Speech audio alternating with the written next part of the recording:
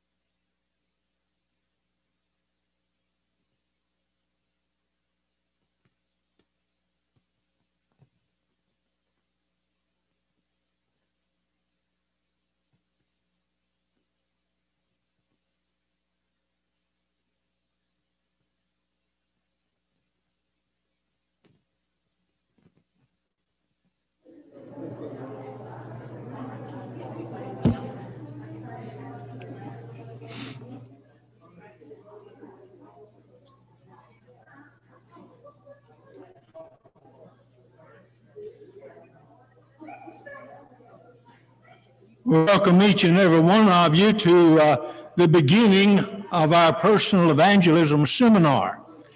So very glad to see everyone and know we have also some visitors tonight. We want you to know how glad we are that you are here with us.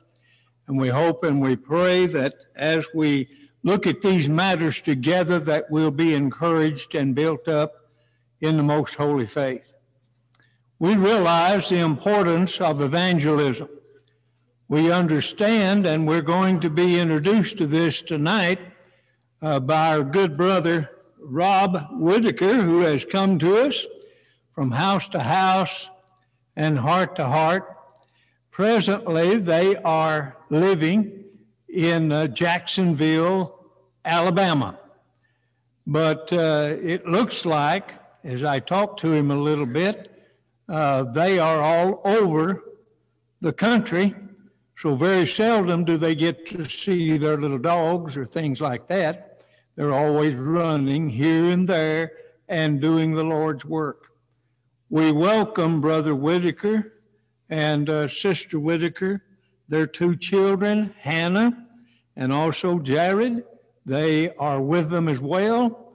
I want you to notice also in the period of time that we have breaks in that, and at the end, uh, there are a number of tables of books and material out there that you can purchase, and it will help you in your evangelistic work. We're very grateful for our Lord told us to go into all the world and preach the gospel to every creature. You and I have an awesome responsibility and I am very glad tonight to introduce to us in the opening remarks Brother uh, Rod Whitacre. And uh, I've known Brother Rod for a long time. I didn't realize it until he told me. He knew me when he was just a little fella, up to about my knees or my waist high, uh, when we worked with a church in San Antonio. Uh, Rob was born in Illinois, but grew up in San Antonio. And uh, if you know where Bulverde is, then you know about the area where uh, Brother Rob grew up. And we appreciate him so very much. It was good to get to talk to him again about some days that I then was able to remember. Uh, the first session that we're going to have tonight is Let's Get Motivated. Then there will be a short break and we will have a second message. Uh, let us stay with the message. And we appreciate Brother Rob and his good, family so very much. Tonight, we're going to be having an opening prayer by Brother Ken Strummel. He is from a congregation in Kempner, Texas. He and his wife, his family, very faithful in the Lord and I'm so glad to see them to be with us here. Our closing prayer tonight be Brother Lee Fisher, who serves as one of the elders in this congregation. Now, if you will prepare yourself, we'll have Brother Ken come, and after Brother Ken's prayer, then Brother Rob will begin his lesson.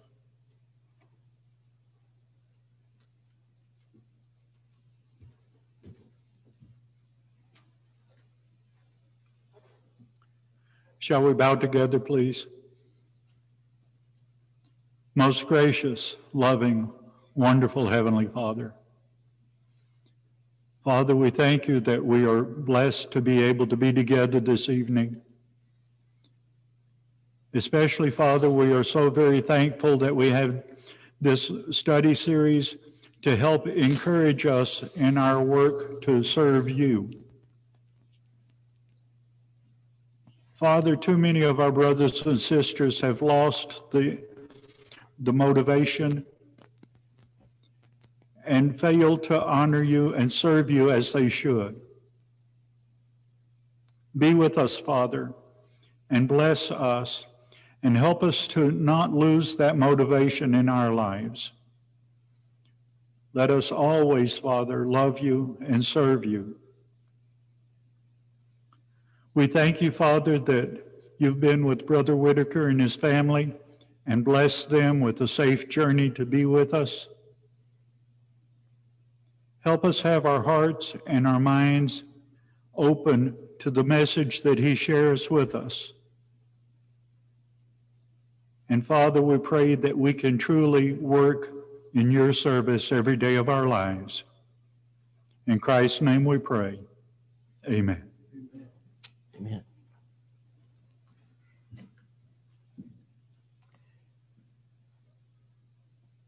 I will need a clicker for the PowerPoint, and uh, well, I'm inter- he's coming with it. All right. Good evening, everybody. It is a pleasure to be um, here in Killeen, Texas. Texas is is my home, and um, it is always good to get back where barbecue means beef. UT uh, stands for Texas, and orange is burnt orange. And um, well, if you're an Aggie fan, I'll take maroon. I, anything is better than what I've got in Alabama. I promise you that. Now, you don't tell the brethren I said that. But what a pleasure it is to be with you tonight. And my family, uh, we travel together and uh, we go from California to Maine and in between. And we bring the house to house, heart to heart school of evangelism uh, to churches.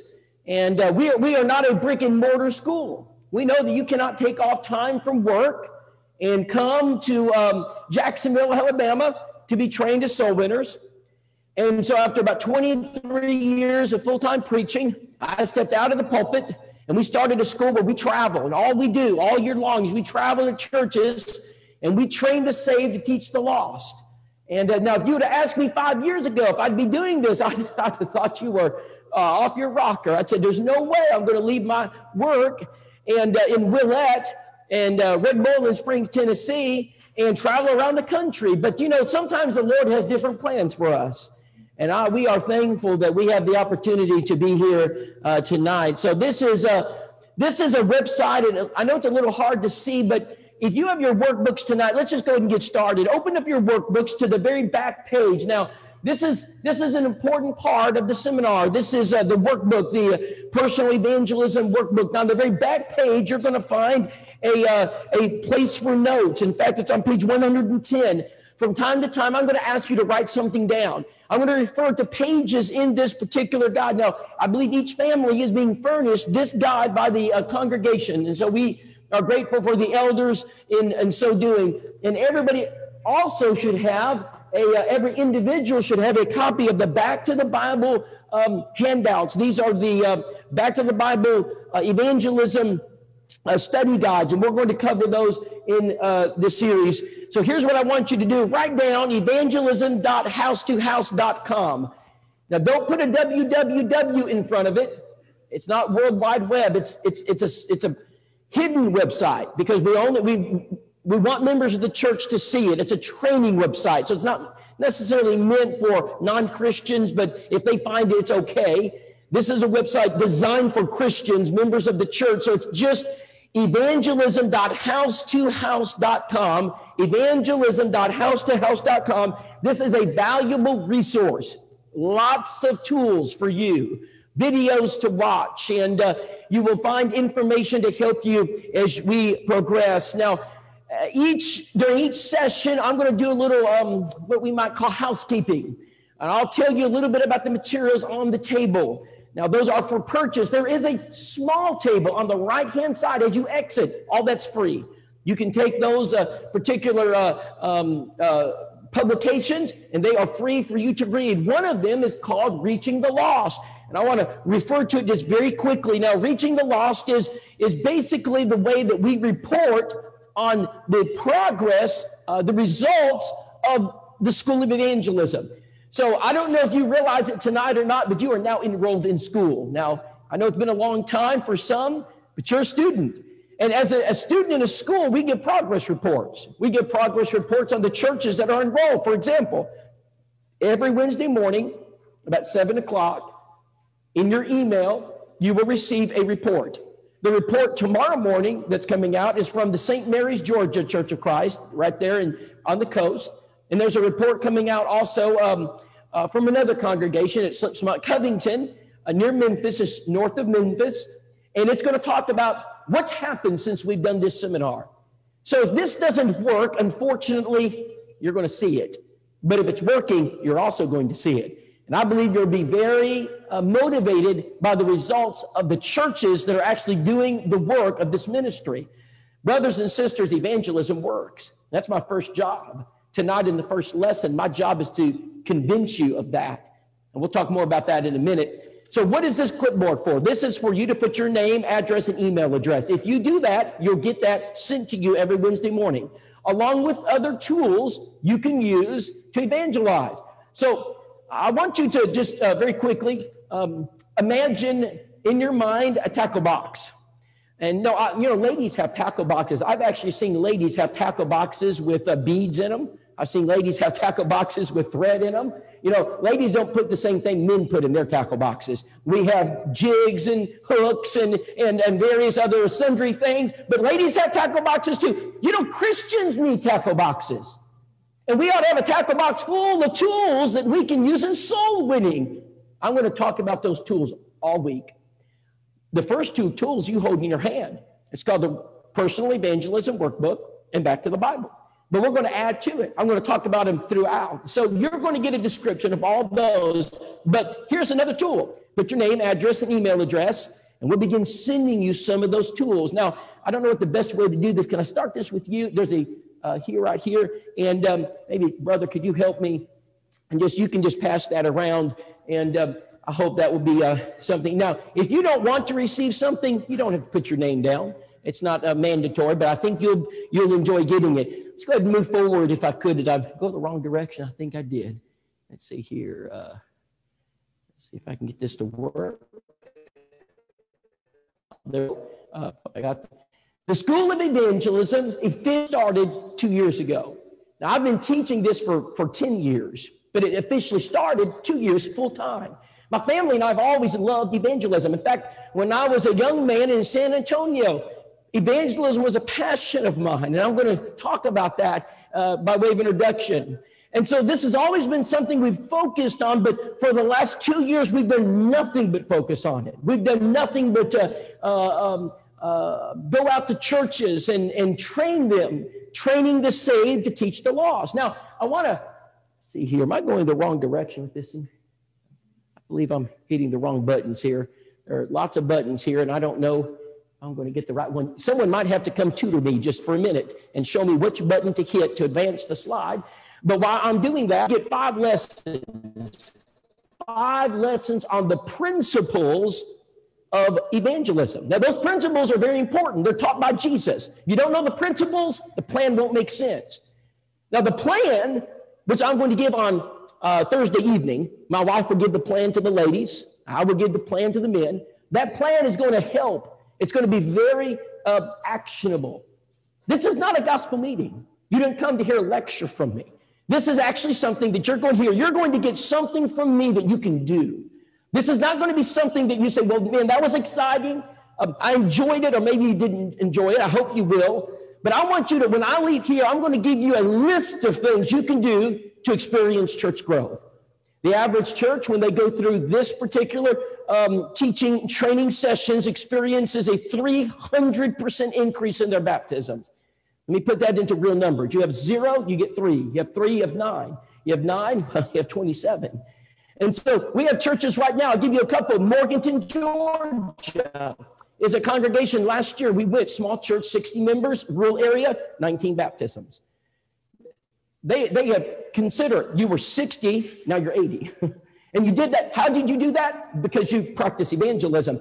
Fayetteville, Georgia, just south of Atlanta, in, in six months they had 14. St. Uh, Maryland, there's a brother Sykes out there, Eric Sykes. And man, this is really exciting because they, they just took the videos. I do this by video. We did a video training series, enrolled them in the school.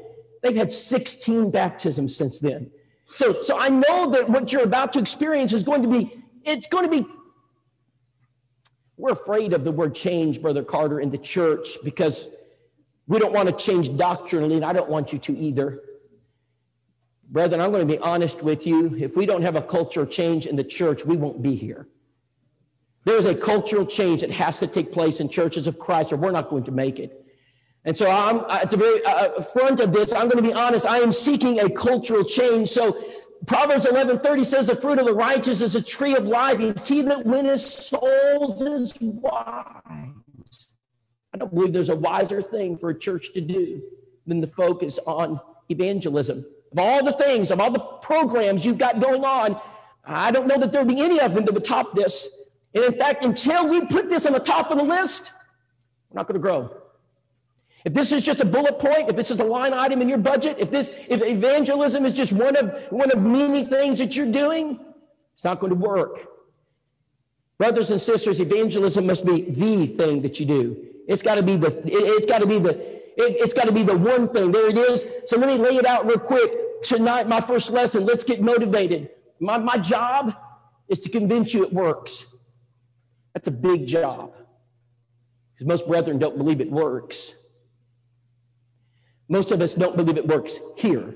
Now, it may work in India, but not here. And so I've got to, I, have got to climb that mountain with you tonight. Then we're to, we're to notice how does it work when you stay with the Bible? There's a lot of us that have been taught and we, we, we've heard that the only way for the church to grow is, is, is, is to do things that uh, stretch the limits, uh, gimmicks and gadgets. Uh, we've got to be more, you know, up, up, updated. We, have got to be more with the times in order to grow. And then, of course, I want to talk about how do you get into a Bible study? How do you do it? That's for most people their favorite lesson because it's it's something you can do. You have a family member, a friend, you want to do a Bible study? I'll show you from Jesus how to get into the study. Then we're going to talk about the method. Uh, uh, if you have no method, you'll have no Bible study. Most Christians have no method. I was down in Sarasota, Florida earlier this year, had a crowd of 200 plus people. I had like a dozen churches represented. I had a question. It was a simple question. I said, How many of us in the audience teaching someone the gospel? Do you know how many people raised their hands? Less than 10. Less than 10. We're going to move forward and talk about applying the model. We're going to make the we're going to make this real in your world. People are not cookie cutters. We're not, we're not here to play dot to dot. You know, everybody's different. You're going to experience uh, um, questions. How do you do it? A lot of people are afraid of evangelism because um, maybe it's not going to work for your friend. I'm going to show you it can work and we're going to make it real. We're going to look at the application. That's the plan for men and women. The, the principles don't work if there's no plan. We want to put you to work. And so this is some might call a spiritual boot camp. So let's go ahead and get started. In the year 2000, there were 13,155 churches of Christ. In the year 2009, there were 12,629 churches of Christ. In the year 12,300 churches of Christ. In the year 2018, 11,965 churches of Christ. And brethren, I can tell you in the year 2020, it's catastrophic. We're declining. I had somebody come up after I first pre- presented these numbers. This is years ago. He said, Oh, Rob, he says, you know, there's no need to get riled up about that. He says, We're, we're not declining. I said, Really?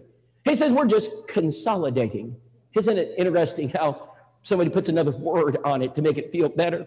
He says, No, we're, we're into rural churches. We don't need a church on every street corner. We're consolidating. I said, Brother, if that's the case, you explain these numbers to me. In the year 2000, we had 1,224,65,000 church members.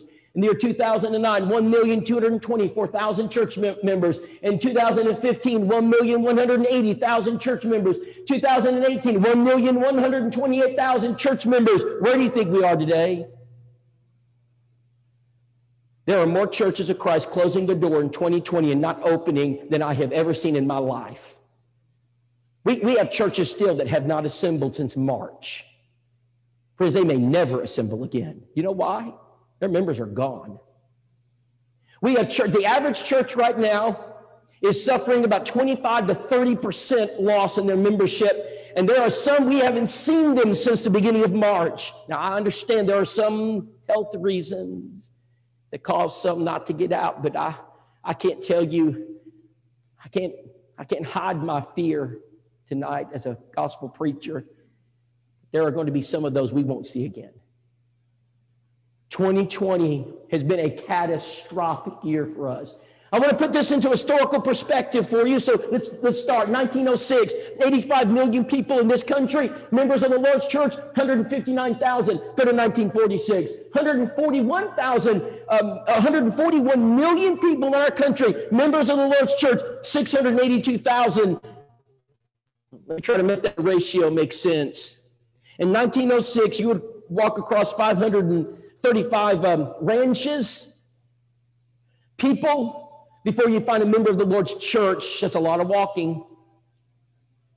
But in 1946, that would be going to 207 ranches or people before you found a member of the Lord's church. Then in 1953, you had a population of 160 million. Notice the members of the Lord's church, 1.5 million, ratio 1 to 106. You went to 1973, 211,000 in this country, 2.5 million members of the Lord's church. Now the ratio is 1 to 84. Let me, let me put this into perspective for you. The Lord's church grew during World War I. The Lord's church grew during the Great Depression. The Lord's church grew during World War II. The Lord's church grew during Korea. The Lord's church grew during the feminist movement. The Lord's church grew during civil rights. The Lord's church grew during Vietnam. And in, in, in the most tumultuous periods of our nation's history, the Lord's church grew. No wonder America became the greatest nation on earth. Because righteousness exalts a nation and sin is a reproach to any people. But brethren, do you know what's happened for the last 40 plus years? We have done nothing but decline. Friends, we're losing. We're losing the church of Christ in America. I didn't say we're losing the church of Christ. It's growing in some countries, but we're losing it in our own country. Brethren, if we want to see America come back to its greatness again, may I suggest you that the answer is not on November 3rd, but the answer sits in our pews. Because what makes America and a country great is God's people. And the more people of God we got in a nation, the better that nation will be. The answer is not in the presidency. The answer is not in the courts. The answer is in the church of Christ. And my call to all churches tonight is, brethren, let's get busy. Because we have the answer. We're losing. We have brethren that have not seen success in their lifetime. They're now coming to an age where they can be deacons. Some are almost to be elders. And yet we have men coming into the eldership right now and they've not seen evangelistic success. They don't know about the growth of the church. Those who've seen it, those who experienced it, those who are part of that growth, that great generation is just about gone. That is frightening. Because that means in the pews of churches of Christ all over America, we have members of God's people. They don't know if it works. They don't believe it works. They've never seen it work. It's been nothing but failure after failure. We haven't had net growth in this country in almost 50 years. That's frightening. The question is why? Why were we able to grow so quickly and rapidly? Why were we, why were we, we, we, were, we weren't just growing rapidly, brethren. Let me just be honest with you. Our religious neighbors, they were scared to death of the church of Christ. There wasn't a religious group out there that grew faster, more rapidly. The church, Brother Winkler used to say, we're the church everybody's talking about. You know what's sad now? People aren't talking about us because they, they don't even know we're here anymore. Now that's enough of a that's enough of a negative message. I start with the, the bad news because I want to I want I want it, I don't want this to be a, a, a period of a guilt trip. I'm not trying to do a guilt trip on you. This is gut check time. This is this is a time where God's people just need to be real. We don't need to pretend anymore. Let's not pretend it's okay. Brethren, it's not okay. Look at your building tonight.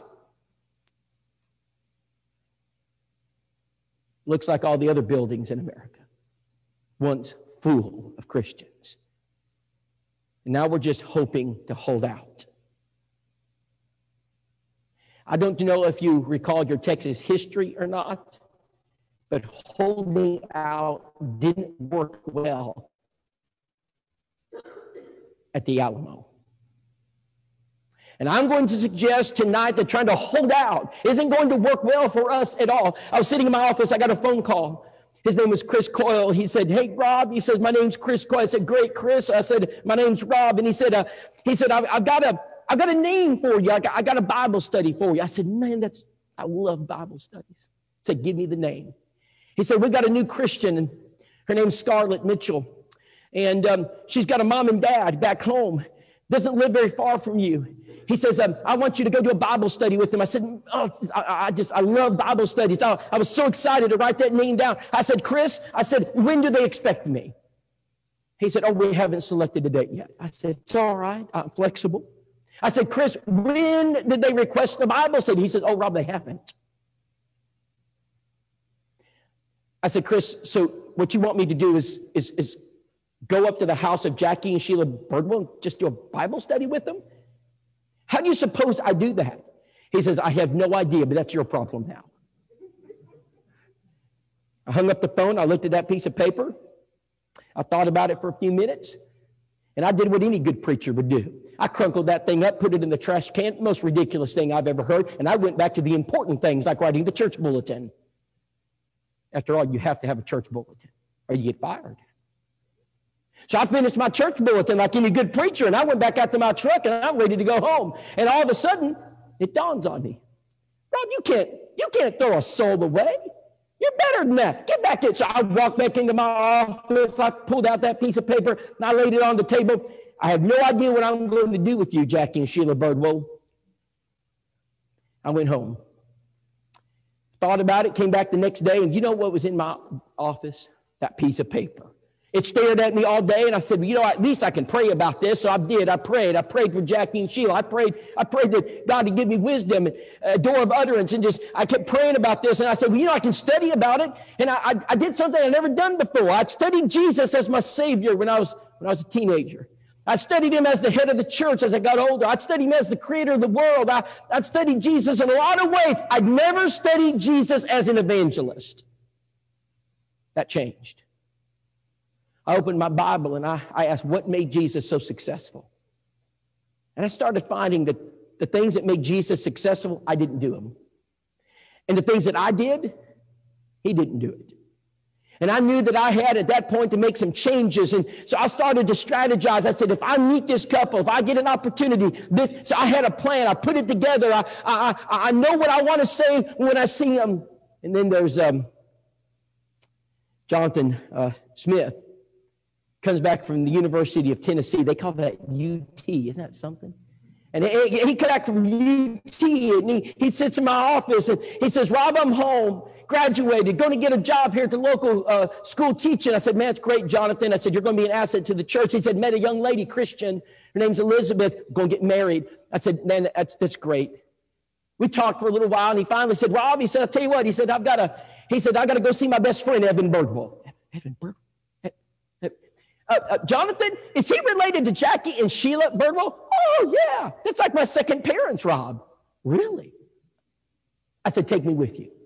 He said, Take you with me. I said, Take me with you. i go. He said, Why do you want to go see Jack? I said, Jonathan, I, I explained it to him, got in the car. We got to the house, knocked on the door. So he knocks, she opens the door. Jonathan, Jonathan, oh, Jackie, it's John. Jonathan's at the door. Man, she grabs and hugs him. Evan's not home.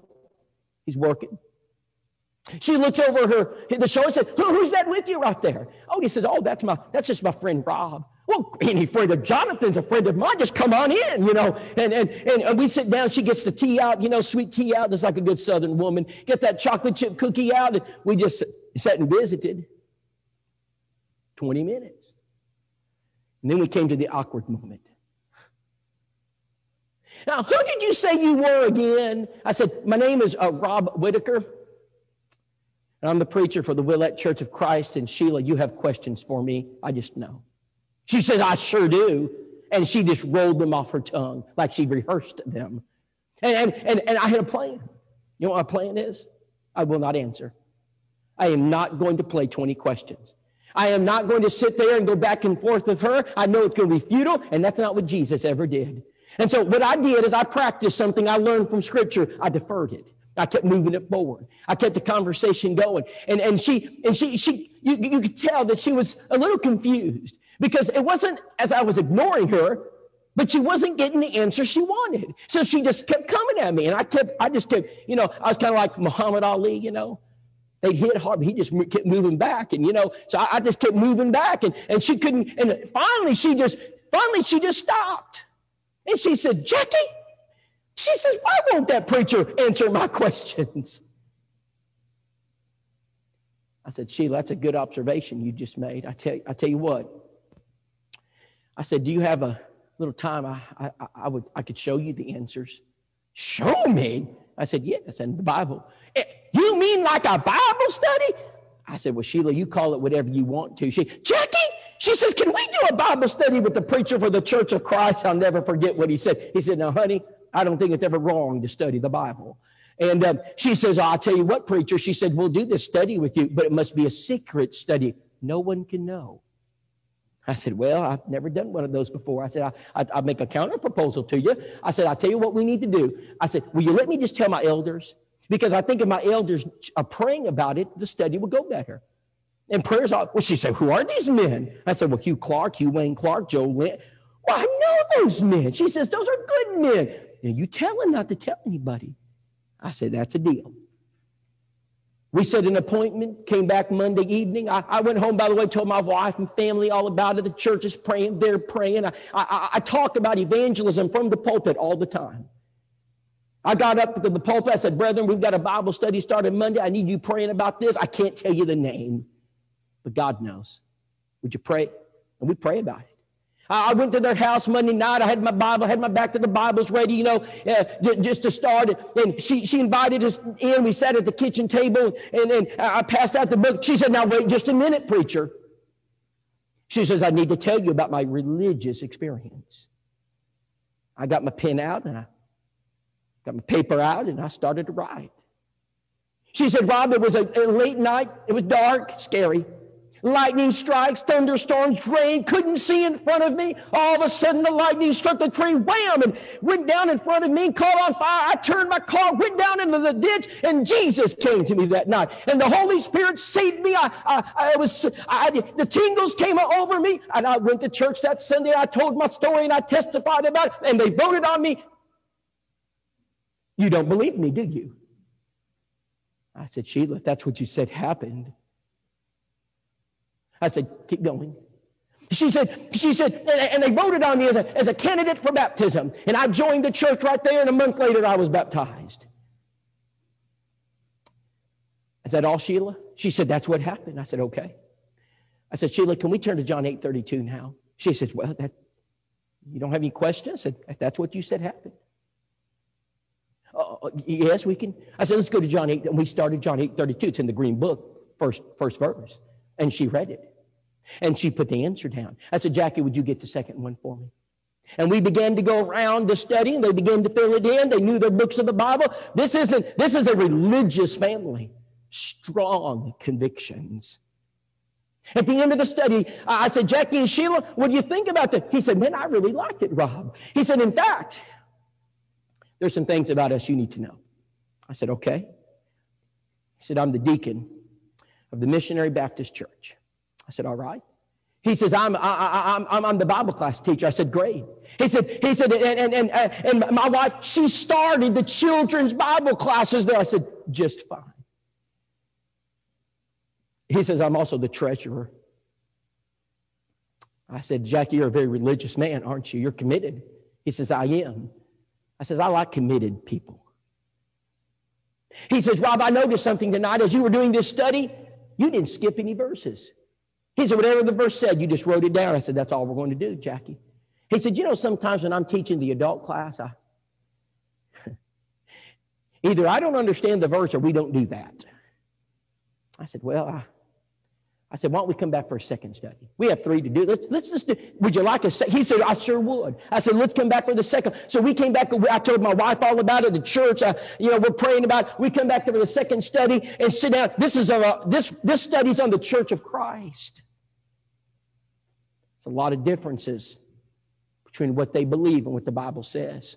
I lay them out. I lay them out one by one. You know what Jackie's attitude? In fact, I, stopped, I said, Jackie, is that, any questions about that? Because I knew it was vastly different. He says, Rob, as long as it's in the Bible, I believe it. And I respect people like that, don't you? I mean, I respect people. Say, if it's in the Bible, I don't care what anybody else says. I'll do what the Bible says. We finished that study, man. I'm I'm on cloud nine. I mean, this this study's going so well, but I don't want to mess it up. You know, I, you want to mess a study up? We'll, you know, God won't mess it up. Sometimes we mess it up. So, so I, I said, man, I got to know more about. I don't know what a missionary Baptist is. I know what a general Baptist is. I know what a Southern Baptist is. I know what a Northern Baptist is. I don't know what a missionary Baptist is. I said, I said, I'll tell you what, I'm going to call Scarlett, the daughter who, who became a Christian. I, I said, Scarlett, um, can I ask you a question? I said, uh, why, why did you, why, why did you become a, a Christian? She said, she said two things I'll never forget. I mean, she was so, she was so excited on this phone call. She was telling me her mother's calling her every day to talk about it. I mean, Scarlett, uh, you, you get to see the energy. I mean, she's so hopeful. And let me share with you one thing she said. She said, Rob, when I told my parents I was going to become a Christian, they warned me what would happen. They said, Now, Scarlett, you know they'll excommunicate you. I said, excommunicate? What? The, I don't even know what excommunicate means. I've never seen it in the Bible. She said, well, that, uh, Rob, what they said is that they're going to come and, and, and excommunicate me. And she said, I was ready. I said, ready for what? She says, I'm going to convert them. I'm going to show my parents why I did what I did. I had my Bible ready and I was open. And she said, those men came into to the living room and they popped open the briefcase and they brought out the tablet paper and they looked at me and they found my name on the roster and they erased it. Said, okay, what else did they do? Well, they put it back in the briefcase and shut it. I said, what else did they do? She said, they left. My mother was livid. She said, Jackie, you mean they're not even going to try to read the Bible? They're not even going to try to have a Bible? Jackie, we've been, we mean we've done this all our life and that's all we get. She said, I just thought you might like to know that. I said, that's, I appreciate that, Scarlett. Jonathan Smith and I drove over that night, and we're, we're now in the, the last study, and Jackie's got to have a private meeting with his wife, Sheila. Jackie says, Now, Sheila, that little preacher's coming over here tonight. He thinks he's going to convert us. He's got another thing coming. Sheila, we've been a Baptist all these years. He says, I'm going to die a Baptist. And Sheila says, Shoo. She says, Jackie, I, I, I was born a Baptist. Mama's a Baptist, grandmama's a Baptist, daddy's a Baptist, aunt so and so's the Baptist. And she, he says, she says, I'm going to die a Baptist. He says, good, I'm glad we've got that covered. And then I knocked on the door. We opened the door and I walked in and sat down around the, the uh, kitchen table. I got out book number three. I said, let's just read our Bibles. We started reading our Bibles. It was going really well. Until we got to baptism. I knew when we got to that mountain it was going to be hard for them to climb it. So I was prepared. In fact, what I did is I took a chart out of your work, that workbook you've got, and I'm going to go over it later. But I, I laid that chart out. It's in. It's actually in back to the Bible. I drew a circle in Christ. I showed Jackie how you get into Christ, and I, I we read those verses together. And you know what happened? He got it. His eyes began to water. His hands began to shake. And I knew he got it. I said, Jackie, I don't normally do this in a Bible study, but I called for the invitation. I said, Jackie, I said, what are you going to do with this? He said, Rob, he looked me straight in the eyes. He said, Rob, he says, I know exactly what I've got to do now, and I'm going to do it. I knew what he was saying. Sheila knew what he was saying. She looked it over at her husband and she, she hit him in the gut. He, he grabbed his stomach and she said, Jackie, you said we weren't going to do that. And he looked back at his wife and he said, Honey, we have no choice. It's what the Bible says. Chills ran up and down my spine when I heard that. I said, Jackie, let's go right now. He said, Rob, I can't. I said, I can't. Brother, I spent the next 15 minutes, 20 minutes, and I did everything in my power to try to convince him to do it that night. I, I read every verse. Almost I persuaded me. Today is a day of salvation. Life is a vapor. I went everywhere. He wouldn't budge. I finally said, Jackie, I said, what, what are you waiting on? He said, Rob, you don't understand. I hold the bag. I said, the bag? He said, I hold the bag. He said, You know what would happen if I went and, and I became a Christian tonight? He said, They would accuse me of all sorts of stuff. I got to resign. You know, that bothered me for years, Brother Carter. I didn't understand that. But there's a great difference between a 15 year old repenting and a 55 year old repenting. Jesus said, Bring ye therefore fruits worthy of repentance. Sometimes repentance takes a little bit more time he says, Rob, I'm going to do it, and you can come to my house every day until I do, and you can bug the fire out of me. Well, you know I'm a good preacher. I did. I went over every day. I, my family went over. I introduced my children and my wife to them, and, and, and he said, go pick strawberries. We had more strawberries than we knew what to do with. We picked tomatoes, and you know we swang in that in that front porch, and I'd look over. I said, Jackie, is today the day? Not yet, Rob, but it's coming.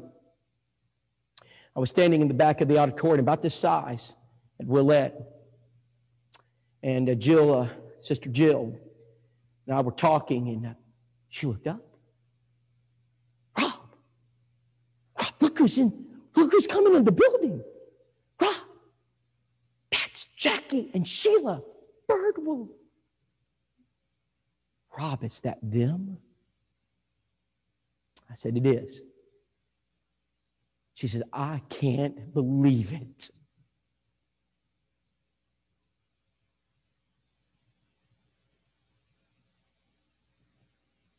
And that's our problem. Brethren, we don't believe. See, we don't believe this works. It works with our children, maybe uh, most of the time. Maybe a benevolent uh, occasion it works, but you know, it, it, it's a, people in America aren't interested anymore. Send them to New Zealand, right?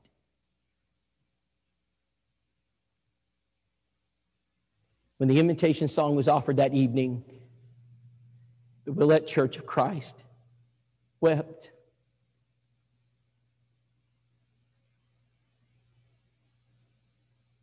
Jackie and Sheila were baptized into Christ for the remission of their sins. That night, it changed the church. The church believed.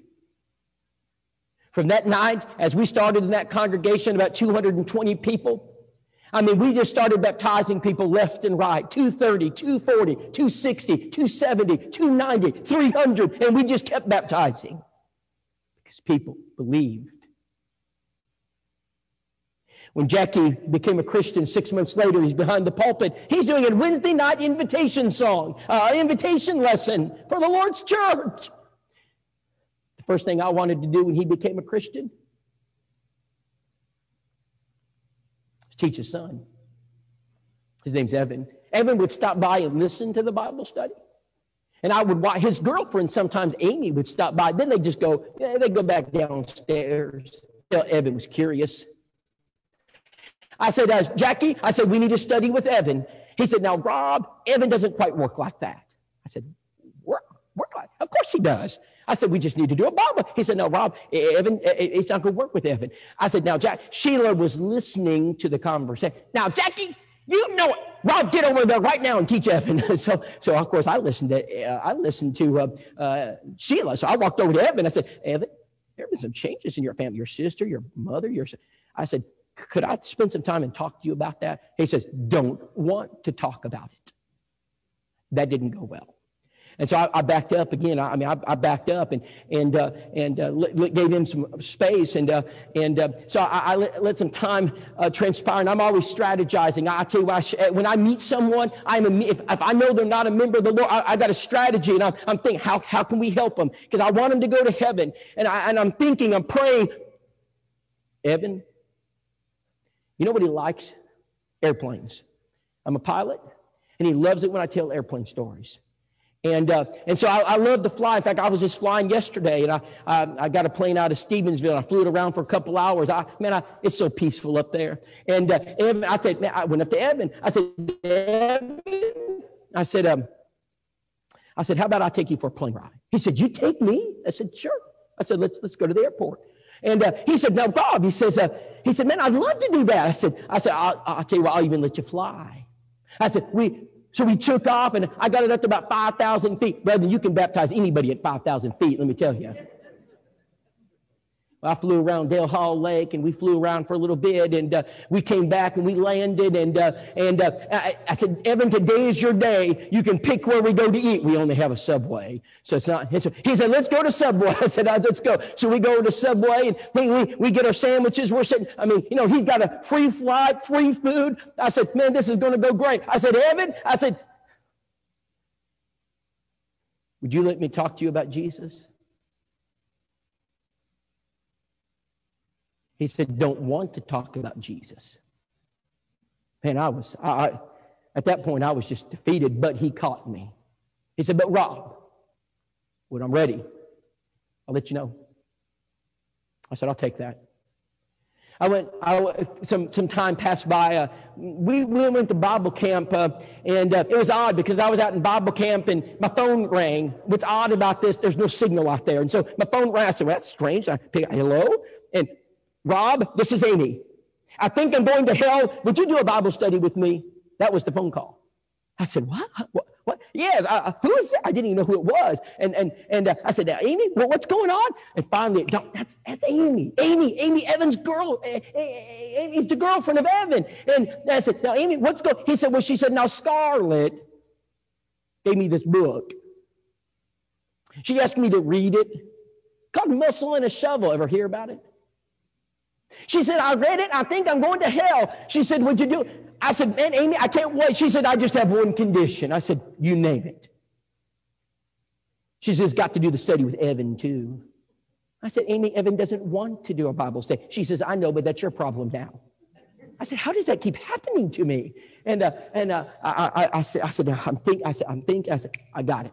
I said, Amy, you know how Sheila likes to cook those Sunday suppers? Have her cook a Sunday dinner, you know, right after morning service. Invite us over. Make sure Evan knows, because Evan will be there for his mama's cooking. And you make sure she, he also knows that we're going to do a Bible study. He'll stay. Got it. We do all that. We planned it out. And after supper, uh, dinner, she starts passing out. The, I, I passed out the booklets, getting my Bibles ready. Now, Scarlett, she's driven all the way in from Freed-Hardeman, Summerville, just to witness this. She's on one side of the table. I, pa- I start passing out, and we're, they're so excited. Evan sees it coming. He gets up and says, uh uh-uh. uh He walks off. He leaves the house, gets in his Mustang, and drives down that crackling gravel road. I can hear him going.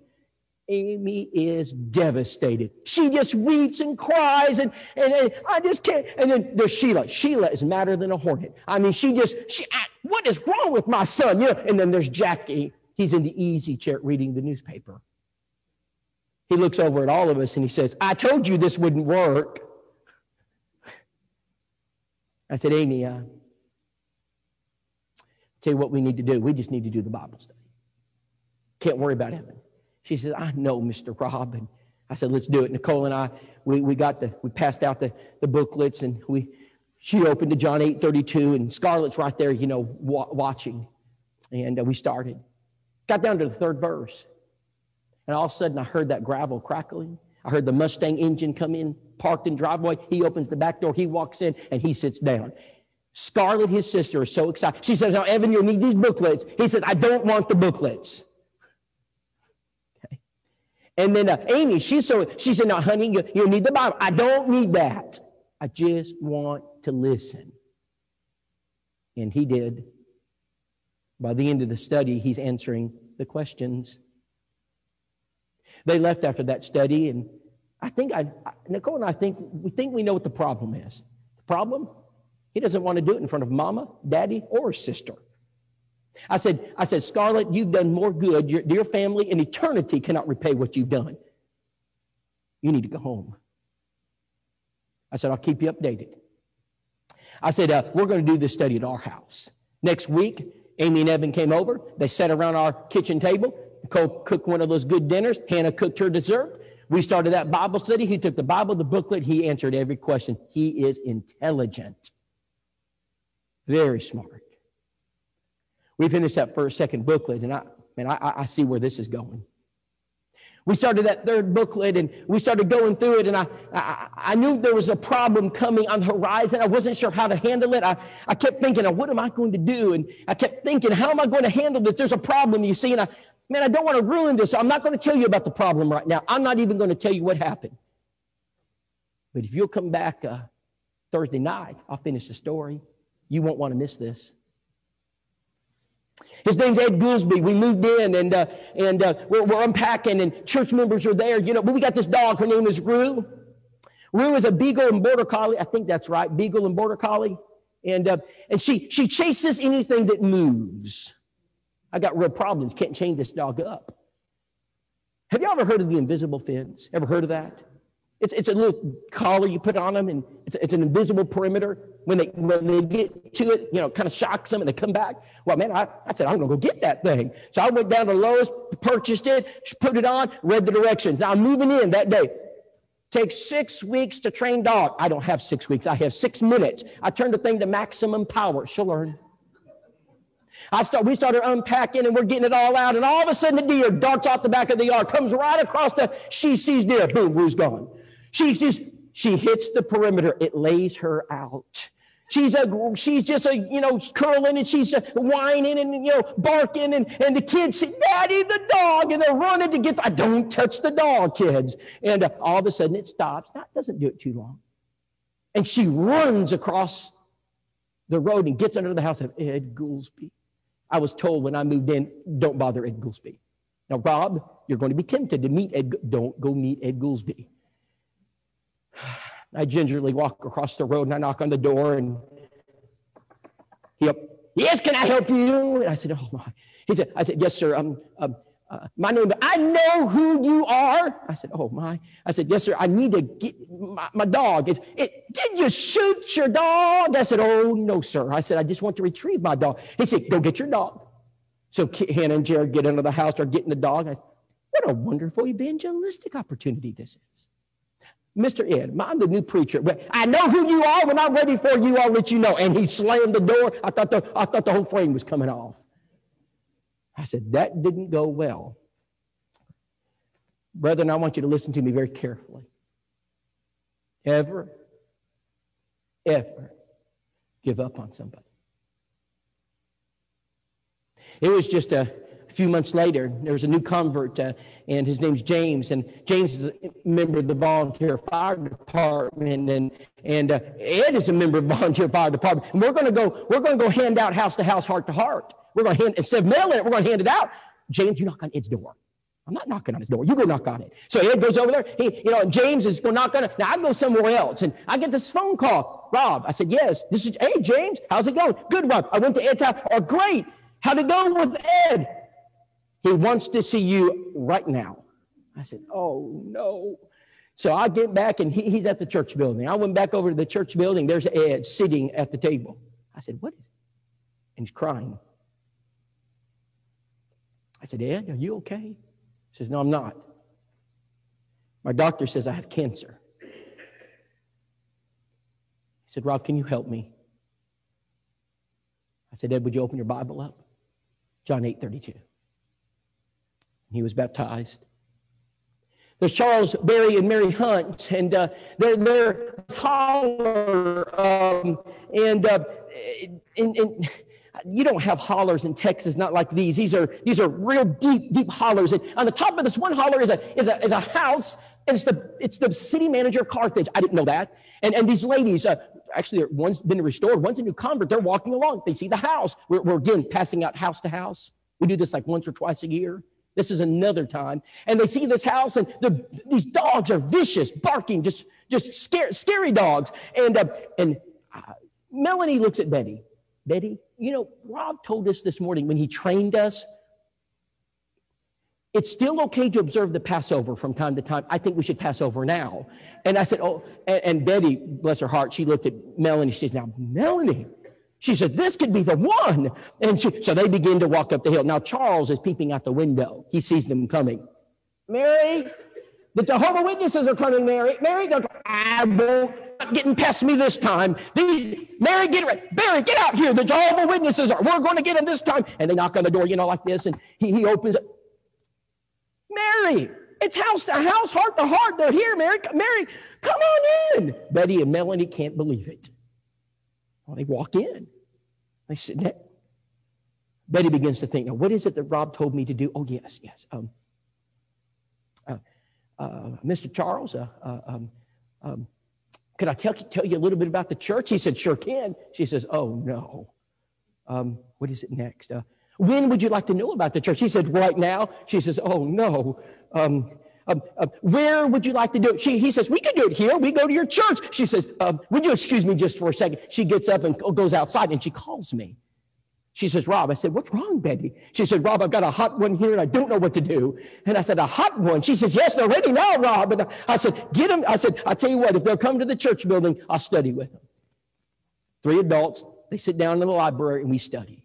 I didn't know if I'd ever see him again, so I did the one method study.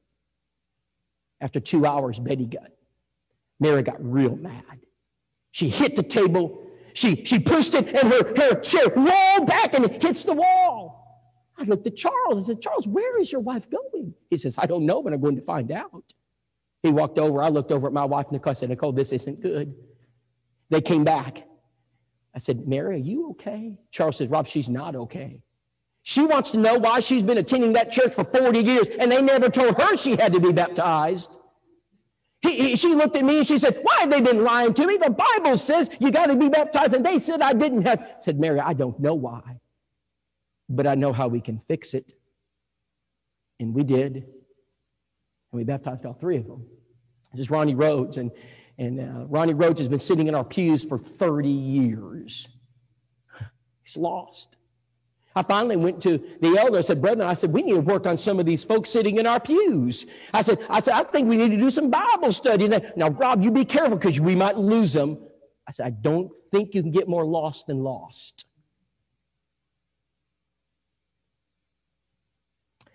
I did a Bible study with them, and all four were baptized.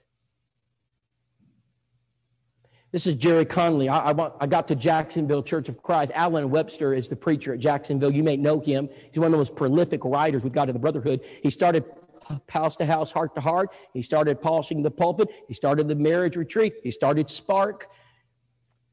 Incredibly talented. I went up to Alan. I said, Alan, I said, since I'm here, when I'm here, I'm not there often. We live on the road.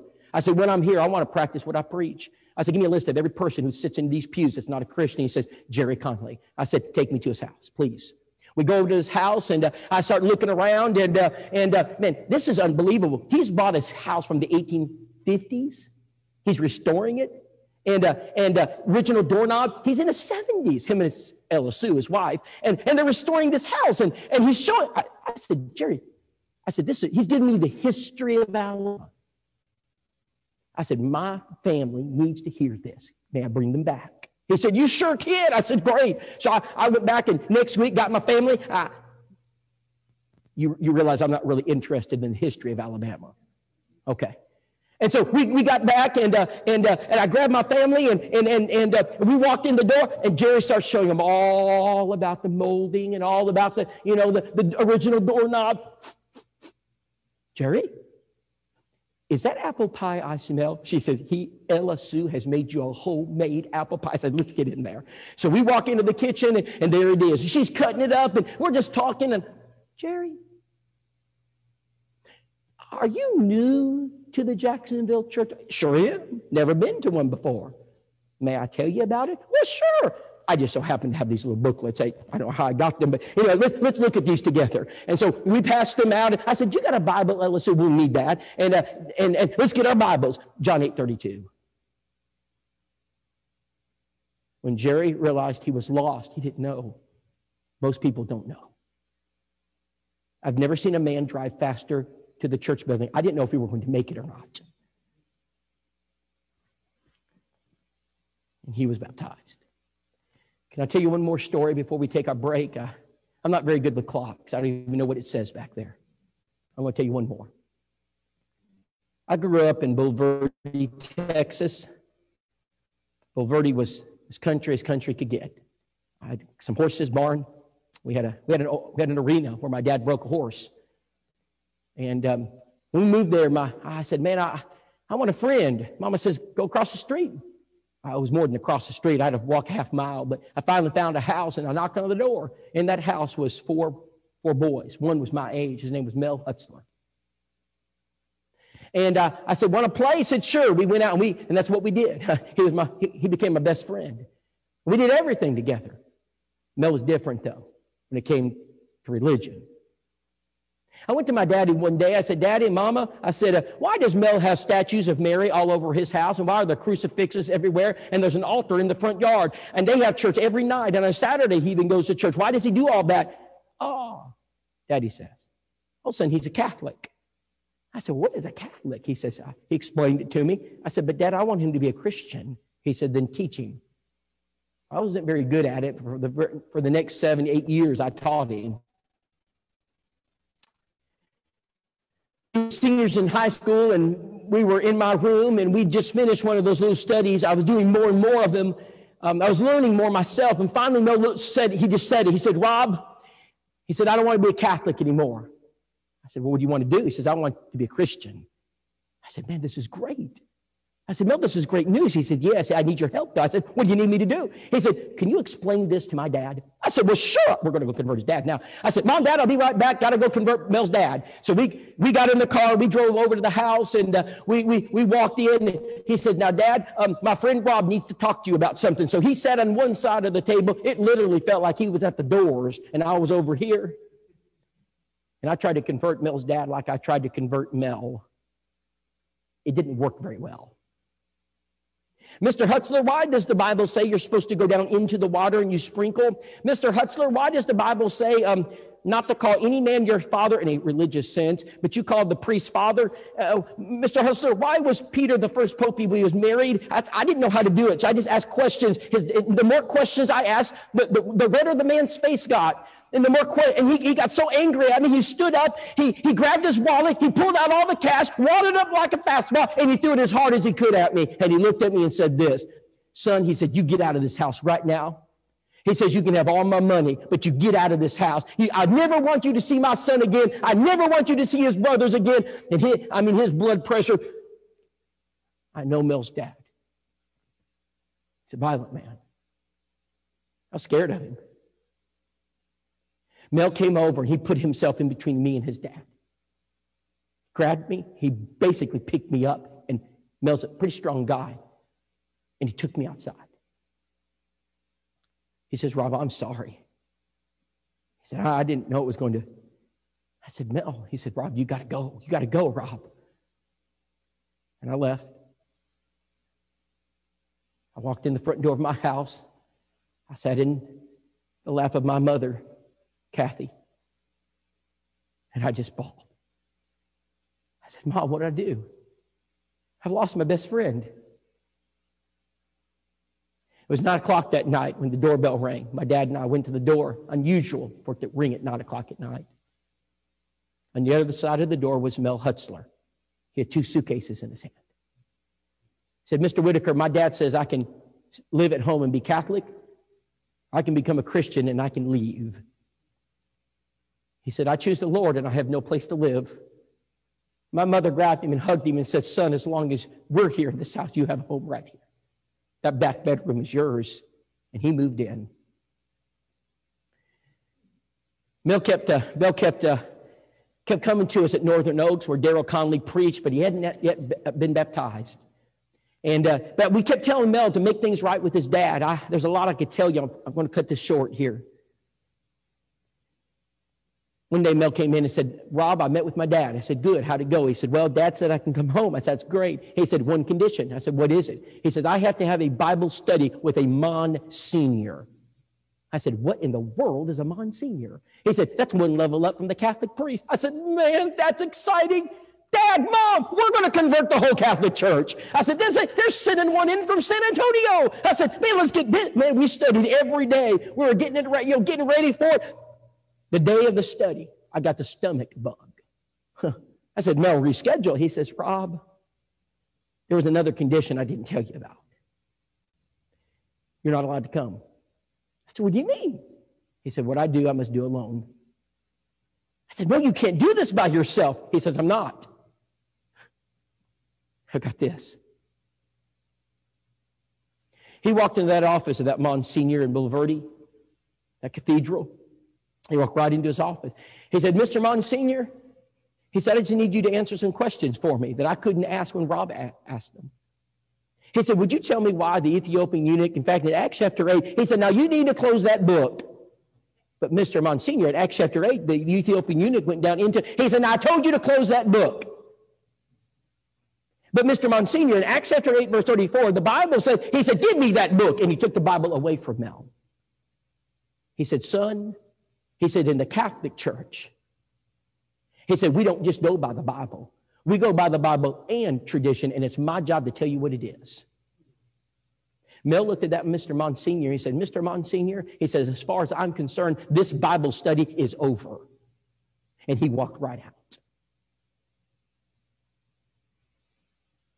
Brother Dan, it was Sunday morning. The auditorium was full. Daryl Connolly called for the invitation. And the Northern Oaks Church of Christ just wept. As Mel walked forward. He's the most courageous man I've ever met. Because that day, he chose his heavenly father over his earthly father. And he was baptized. We went to the Southwest School of Bible Studies together. Today, Mel is the preacher at the Northern Oaks Church of Christ, where he was baptized. And every year, we do mission work together. Outside of my wife, he's my best friend. I believe that instance in my life really set me in a different course. I was going to be a pilot. My dad worked for the airlines. I love flying. I got my pilot's license when I was 18. I walked into my house one day and I said, Mama, I said, I don't want to be a pilot anymore. She said, What? I said, No. I believe I can take people higher with the gospel than I can in an airplane, and I want to be a gospel preacher. And that's why I'm here tonight.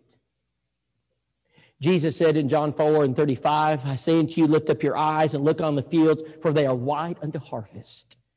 Brethren, there are people that need to be saved, and they're everywhere.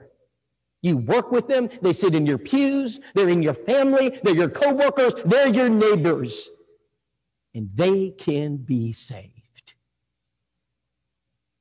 We'll just do our job.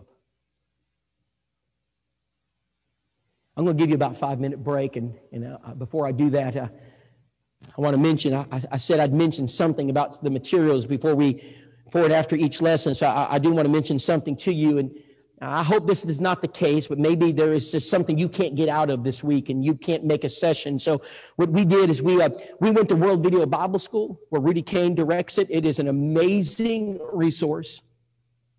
They have studios that unsurpassed anywhere in this nation, and they filmed this entire seminar. I just re-filmed it, in fact, earlier this year, and they just updated it.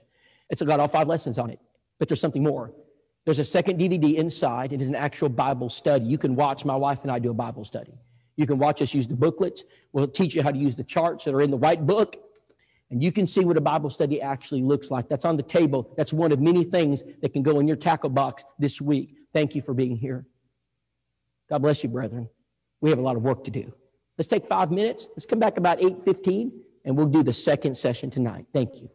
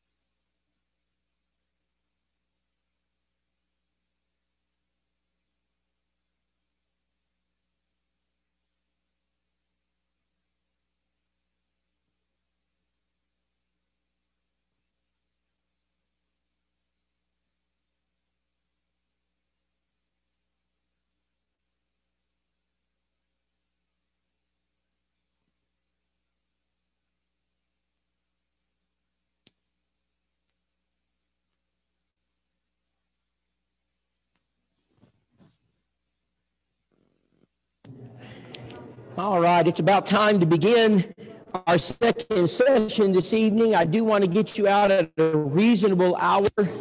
And um, so we're going to start our second session together. And as you're coming back into the auditorium, uh, do not worry, those books will be there all week. They won't go anywhere. I won't let them.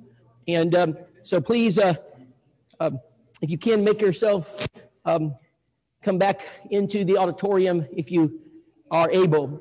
Um, I have a very interesting story to tell you tonight about our arrival into Killeen, but I think I'm going to wait and tell it uh, sometime this week. Uh, it was a very unusual trip that we had here to Killeen, uh, uh, and um, I'm just glad we're here. but um, but we are glad to be here. I'm I'm always glad to be in Texas. Uh, first thing I want to do when I get to Texas is have Whataburger, and I want to go um, and find a taco cabana. And they have things called tortillas. We don't have those in Alabama. We have cardboard circles. And um, and then I, I want to find brisket. So I went over to Rudy's and uh, and and it's just exciting. I, I, I know you take this for granted, brethren. Count your blessings every day, and um, it is it is so good to to be able to eat that good food um, here. And I sure hope you're not broadcasting this. They'll they'll never let me back in Alabama after all this.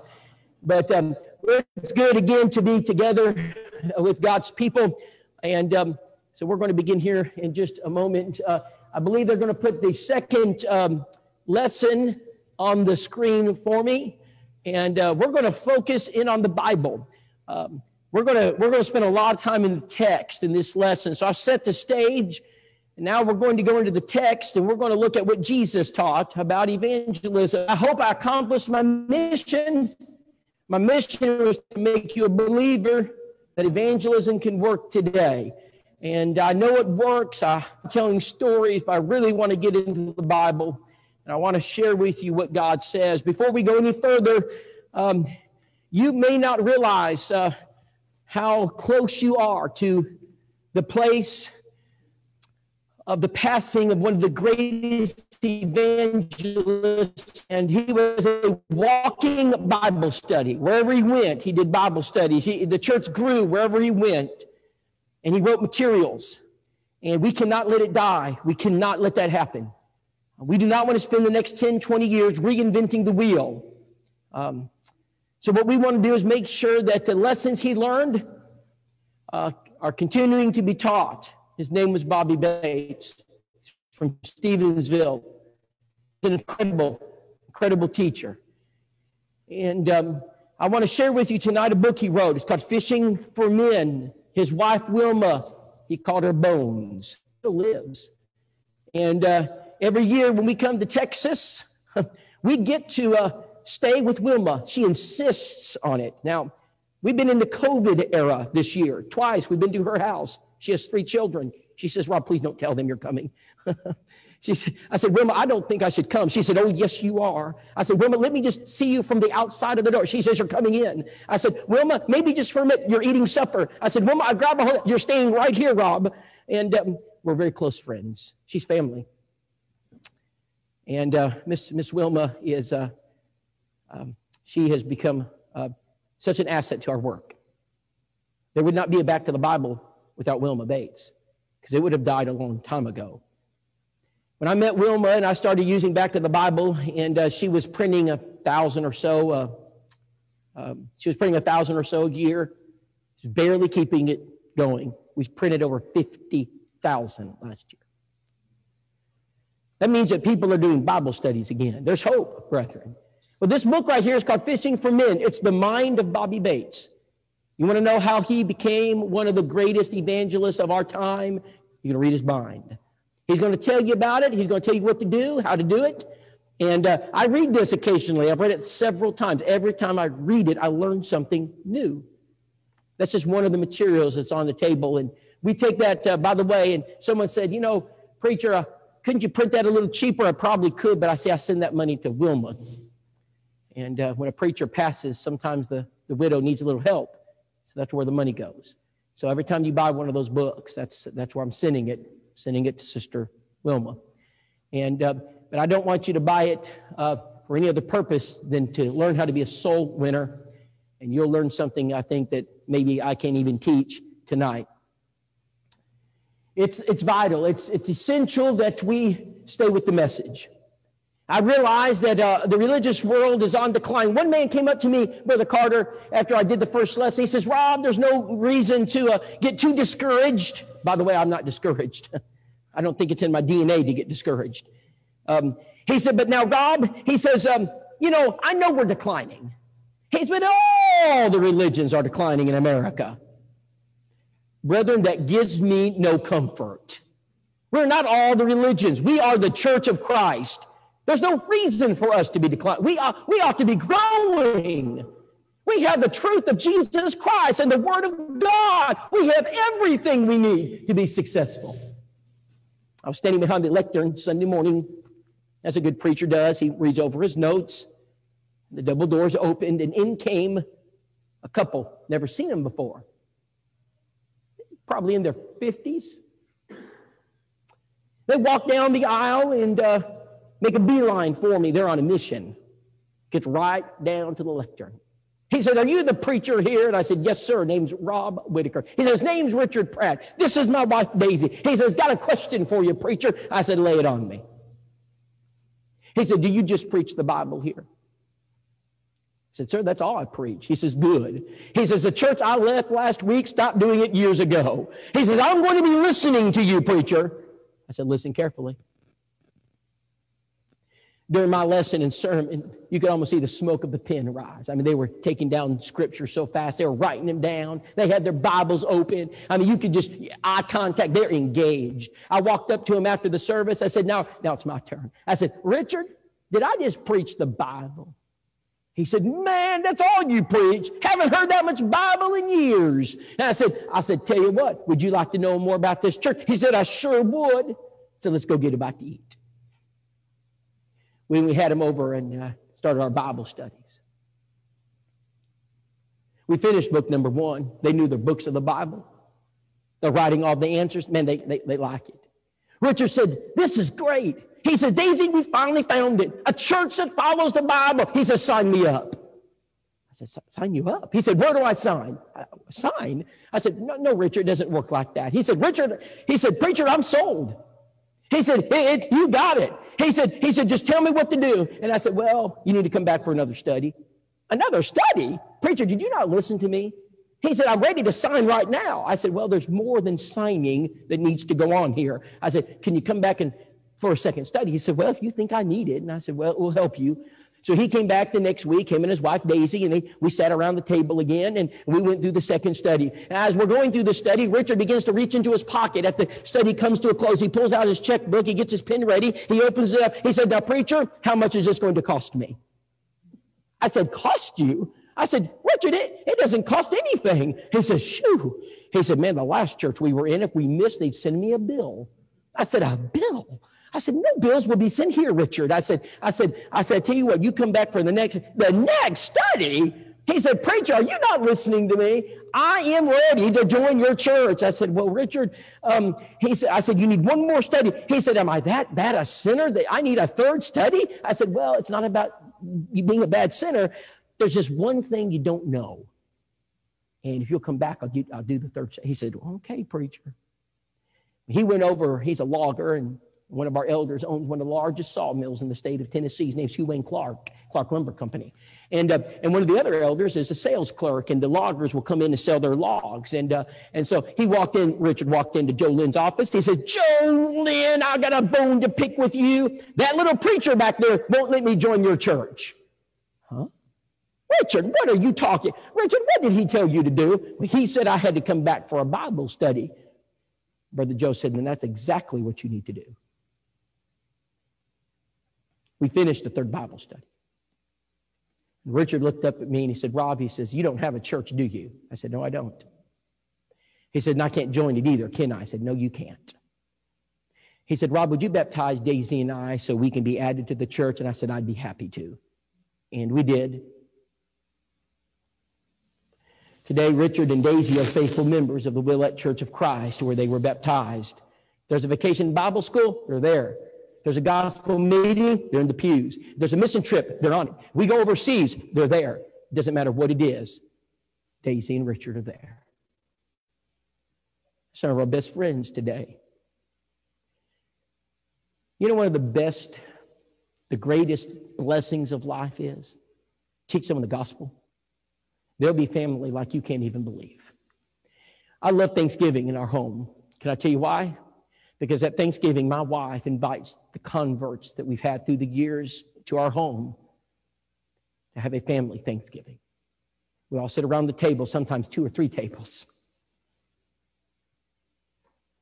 I understand why Paul looked at Timothy and said, My son in the gospel. If you've never been a part of helping someone become a Christian, you're literally missing out on one of the most moving things this world has to offer. I believe that we're making a huge mistake today when it comes to personal evangelism.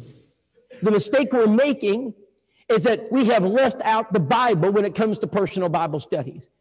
Brethren, we're great at talking to people about the church, inviting them to church, inviting them to gospel meetings, but we're not using the Bible. If we would use the Bible, would, we would be amazed at how effective it would be in bringing souls to Christ. We're facing a generational crisis right now. We literally have parents who have children, and those children have never seen their father do a Bible study. We literally have daughters growing up who've never seen mom do a Bible study. Those children have grown up and now they're having children. And we have two generations in the Lord's church and we don't even know what a Bible study looks like anymore. And we wonder why we're dying.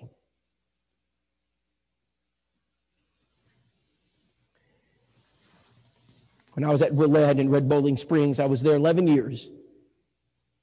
And uh, I, get, I started getting phone calls after five or six years. I was being asked to speak all over the place on evangelism. I, I don't know if you know about polishing the pulpit, but about 5,000 Christians assembled there. It's amazing. They put me in a little closet the first year, and the people were like, they were stuffed in there. The fire marshal got excited. And then the next year, they put me in a ballroom and helped thousands of people. It was, it was solid people. People love to hear about evangelism. I said, man, we, the brethren need this. Well, I started getting phone calls. I got I get called. Elders would call me and they said, Rob, can we come talk to you about evangelism? I said, come on. I love to talk about it.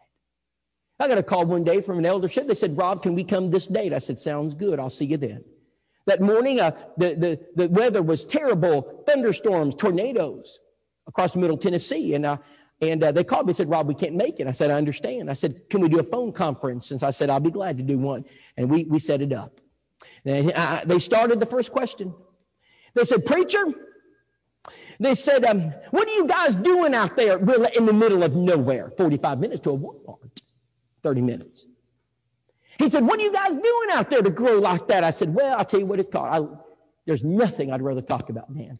It's called a personal Bible study. They're so exciting. Let me tell you all about what, uh, preacher, now stop. Hey, hold on. What did you call it? I said, it's called a personal Bible study. Let me tell you what we do. I said, my wife, preacher, back up a little bit. Uh, where do you find those people at? Oh, I said, well, they're everywhere. You probably go to work with them. They probably sit in your pews. And I, I, said, I said, I tell you what we do. My wife and I, we invite, now, preacher, uh, Yes. Um, how do you get to them? I said, Oh, um, uh, have you ever tried house to house, heart to heart? Yeah, we tried that once. We did one issue. And I said, Well, what happened? Someone got upset, so we canceled. I said, Okay. Um, um, he said, Preacher, have you ever tried the big VBS? The big VBS. I don't even know what a big VBS is. I, I, said, What is the big VBS? He said, Well, you know, you rent the blow up toys and the bouncy houses and the carnival rides. You bring them on into the parking lot and you get all the kids from the community to come. And, and no, I've never done the big VBS before. Um, can I tell you what I do? I tell my wife and I find people that are not Christians. We invite them in. I tell it's got a personal Bible study. We use back to the Bible. We invite them into our house. We have dinner together. Hello? Hello? Brethren, I don't know if it was the weather. I pray God it was. Because I love elders and I want to presume the very best. Or they just hung up. I couldn't believe what just happened. I could not convince a group of elders that a personal Bible study is how church grows. I was so disgusted. I called my wife and I said, Nicole, I said, I got to tell you what just happened. I said, let's write this down. She was writing notes. I got off the phone with her and I, I got into the Google. I said, I'm going to Google Church of Christ. I, I got to figure out what's going on. Can I share with you what I found? Here's what I found when I Googled Churches of Christ. Here's their website. Brethren, we have more programs and ministries than the U.S. government has. I mean, I want you to notice what we've got youth ministries, we've got teen ministries, we've got single ministries, we've got married ministries. Now, if you're married, you need a ministry. Wives, let me tell you, we can help you with your husbands. I know they're so ornery, but we've got ministries that can help your husband be a better husband. And, and we've got We've got divorce ministries and parenting ministry. If you have children, you need a ministry. We will help you through the teen years. Very difficult. You know, aren't you glad we have youth ministries? I'm sure Peter had one. You wouldn't make it without. You got to have a good one. It's hard to be young today. I mean, that's how you grow churches. You got to have youth ministries. And, and we have addiction ministries. We have depression ministries. We have the Silver Wings ministry. You know, when you get older, you, you have to have a ministry. And then don't, for, don't forget the golden oldies. Every Friday night we have Bible bingo. Do you know what I didn't find? Brethren, where is the personal evangelism ministry? Where is the ministry where this church says we teach you and we train you how to do Bible studies? Friends, it, it is time that the Church of Christ stop asking schools of preaching to train you all the training for Bible study, train our church members how to do Bible studies. I was sitting in my easy chair, and um, my wife said, Rob, they're talking about you on Facebook. I said, Oh no, what now? I said, honey, what is it? And she said, she says, I know it's you, Rob. She says, you read something to me. She said, uh, There's this man out there. He's scaring the churches. I said, Well, keep reading. She said, He's telling churches that we're dying. I said, Well, we are dying. I said, uh, Tell me more. Hey, hey, hey, don't believe him. I said, What do you mean? She said, Keep reading. She said, This man said, He said, We're not dying, we're growing. I said, In what world? He, says, lads to leaders. We had 5,000 people there, or 20,000 people, 10,000 at the youth retreat, polishing the pulpit, 5,000. He says, we're not dying, we're growing. Brethren, you know what the problem with all that is? That's inward growth. That has nothing to do with outward growth. Yes, yes, we might be able to put together 20,000 Christians at a, at a lads to leaders event, but they're Christians. You talk to any Christian university, and there are not many left. You, you, you, you talk to any brotherhood work. You, you go talk to Gospel Broadcasting Network. You, you go talk to World Video Bible School. You go talk to Southwest, Brown Trail, Memphis, Florida, Georgia School Preaching, and you ask them if we're growing. You know what they're going to tell you? We're losing supporters every month because they're closing their doors. May I suggest that instead of keeping the aquarium, we go back for fishing men. We're too busy doing all the inward stuff and we're good at it. We're really good with inward cleaning. But we're terrible in our outward ministry. I'll illustrate it. I don't want to hurt you, but I want you to be honest with me tonight. I'm going to give you five years, over 1,500 days. I want to know how many Bible studies we've had in the last five years. In the last five years, how many Bible studies have we conducted? I know there's some of us sitting in the pew tonight saying, now, preacher, listen, I, I, you, you don't know me very well because yesterday I went into the break room at work and I got my Bible out and man, I read Mark 16, 16. I gave it to him, preacher. And my friend, he got his Bible out and he read John 3 16. And man, we had this brawl in the break room. And man, I, I defended the faith preacher. I wouldn't budge an inch. Great Bible study. And then there's uh, Sister, Sister Bell. Sister Bell says, Oh, but preacher, I, I, I've done some Bible studies too now. She said, I go to the tea room. I go to the tea, I have tea room talks every Monday afternoon. And I invite them to church. It's a great Bible study. Do it every Monday. And then there's Digital Dawn. Digital Dawn says, oh, hey, preacher, you don't know what you're talking about. You know, every night I get out my Facebook and I put those verses. Of, Last night, he said, I, I put on there the Romans 16, 16. I said, churches of Christ salute you. Where's your church in the Bible? Boy, you should have seen the feed. Man, people are commenting left and right. It was a wonderful Bible study. How many conversions have you had doing that? Probably none. You know what the problem is with all of that? Brother, none of that is a Bible study. I'm not trying to discourage you from being religious on Facebook or reading your Bible at work or talking to your friends about the church. But brothers and sisters, people are not converted by little talks with Jesus. People are converted when we have Bible studies, and we're not doing it.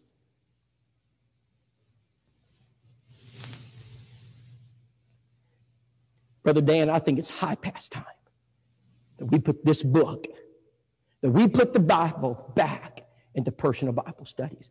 Open your workbooks if you will. Go to page 108. I'm going to give you some things to write down. These are these are three things you got to write down, and, and these are principles, and I'm going to build on these every lesson. I, I, I, I'm going to lay the and give you three things tonight. So get your pencil ready, pen ready, and you make these notes. Number one, this is the first thing you got to do. You got to learn this lesson. You got to learn the lesson Jesus taught defer, don't debate.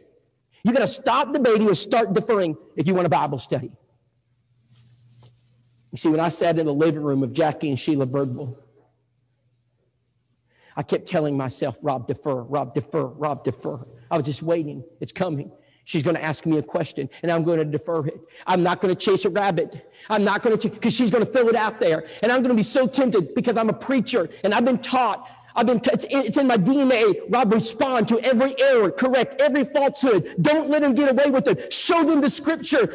But I keep saying, no, I can't do that. I can't do that. I got to defer it. I got to defer it. You chase that rabbit, you'll never catch it. Any hunters out there? Ever go rabbit hunting? Ever catch one by chasing it? no, you stop and you let it come to you. You see, I'm not there to play 20 questions. I'm not there to play Bible trivia. I'm not there to show them uh, the answer to every question in life. I defer, not because I don't want to answer. I defer because they're probably not asking the right question or they're not ready for the answer. And it doesn't matter how good that Angus steak is. It doesn't matter if it's the prize one of Texas. It doesn't matter if you have the longest of the longhorns and the best tasting steak in the entire state. An infant can't eat it because they're not ready. John 16, 12, Jesus says, I have yet many things to say to you now. He's talking to his disciples. He looks at his disciples and he says, Listen, I've got a lot of stuff I need to tell you, but can't, can't understand it. You mean the master evangelist? You mean the greatest evangelist who ever lived?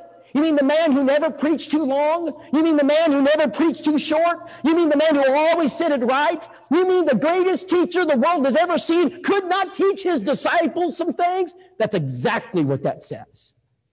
Question for me. Rob, if the greatest evangelist who ever lived couldn't teach his disciples some of those things, what makes you think you can?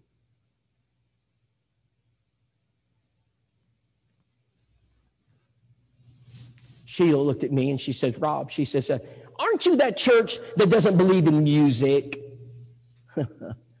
Boy, I was ready for that.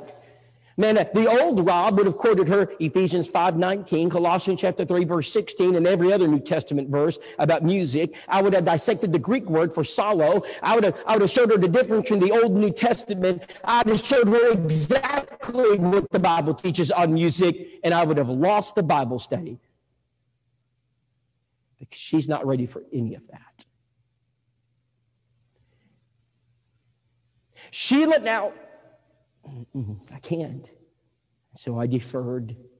I said, Sheila, I said, uh, you have music in your church? She said, sure do. I said, Sheila, I said, what kind of music do you have? Well, and so-and-so plays the organ. I said, how old is that organ? She said, well, 1956. I said, I said, have you ever played Amazing Grace? Oh, I love Amazing Grace. I said, what other songs do you play? For the next 20 minutes, I just asked her. And I deferred. And I deferred. And I deferred.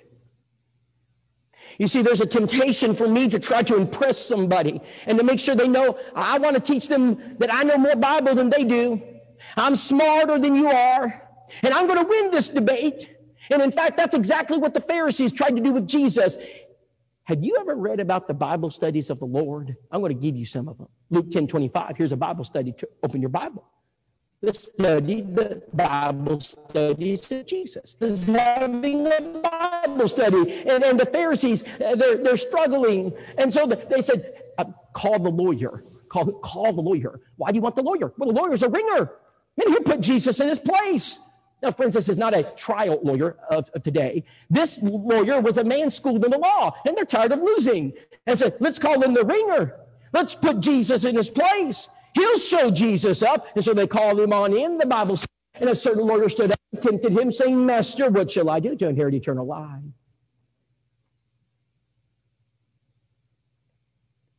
Do you know what Jesus did?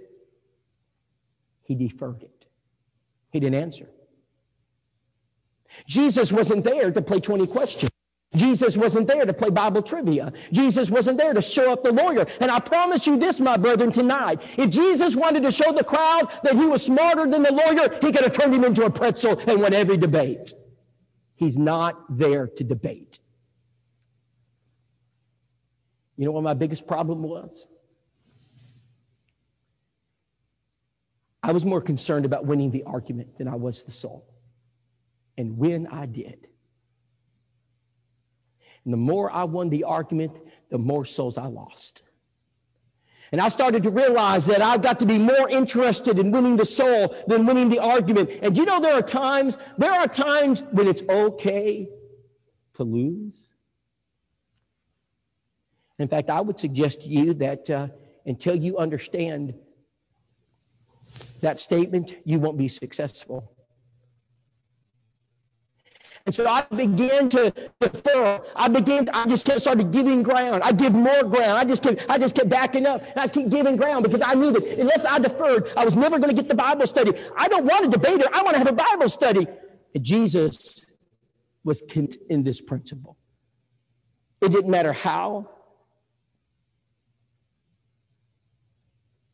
challenging the situation was. Our Lord always did the same thing. He deferred. Look at Matthew 21. This is pretty, uh, it's pretty difficult situation he was in. Surrounded by Pharisees, Sadducees, various religious leaders. And into the temple, the chief priests and the elders of the people came in as he was teaching. And, and they looked at Jesus and they said, Jesus, by what authority doest thou these things? Who gave you this authority? I don't know if there's a question that I'd be more tempted to answer than that one. For those of you who understand preachers tonight, brethren, that's my question. That's what I want to ask. Jesus hit it out of the park. Jesus, give it to him. Do you know what he does? I'll tell you what, I will, I will also ask you one thing. And um, if you tell me the answer, I will tell you by what authority I do these things. Huh? Jesus, stop playing games with them. Just get, just tell him, Jesus. He says, no. By the way, the baptism of John, whence was it? From heaven or men?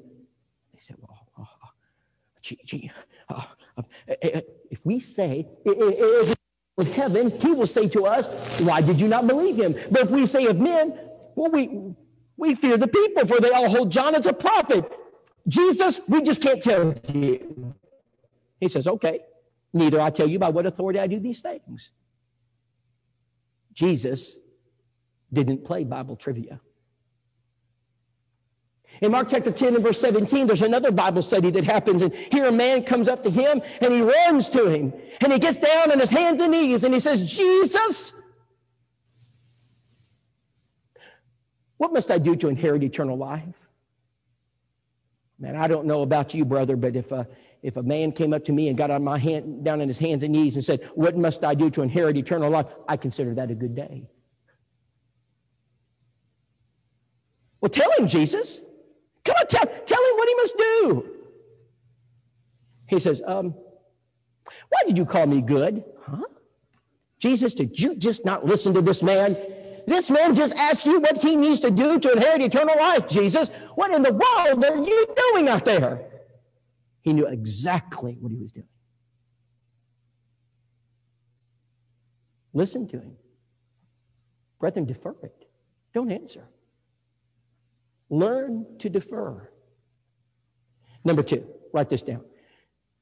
You've got to learn to show people and stop telling them. We've got to stop telling people the answers and we've got to show them the answers. I don't want you to win them over with your gift of gab. I don't want you to win them over because you have um, um, you know, superhuman memorization capacity and you're able to quote all these scriptures. I don't want you to win them over because you know you're just a smooth talker. I want you to show them the answer. I don't understand, preacher, what you're talking about. Let me demonstrate. Sheila said, Now, Rob, I've been told, aren't you that church that believes you're the only one going to heaven? Boy, if that's not a loaded question, I don't know what is. But I was ready for it. I said, Sheila, I said, that's an important question you just asked. And I tell you what, um, I said, Would you let me show you the answer so you can read it? She said, Show me.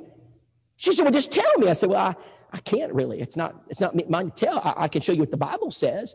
She says, you, mean like a Bible study? I said, We can call it whatever you want to, Sheila. Jackie, is, is it okay for us to do a Bible study with this preacher? And Jackie looked over and he said, Well, Sheila, I don't think it's ever wrong to study the Bible. And we did. Luke 10 25, Jesus did the same thing. That's where I learned it. I was sitting there reading Luke 10, uh, and, and a certain lawyer stood up and tempted him and said, Master, what shall I do to inherit eternal life? And, and Jesus said, and Jesus said, What is written? Huh? Jesus, tell him. Jesus, you're sitting right there. There's no need for them to go back into the temple and look up the script. Jesus, you are the scripture. Just tell him, Jesus. But he wouldn't. He said, What's written? He said, What is written in the law? He said, You need to go to the law. You see, see, sir, what you need to do is read the law. And not only must you read it,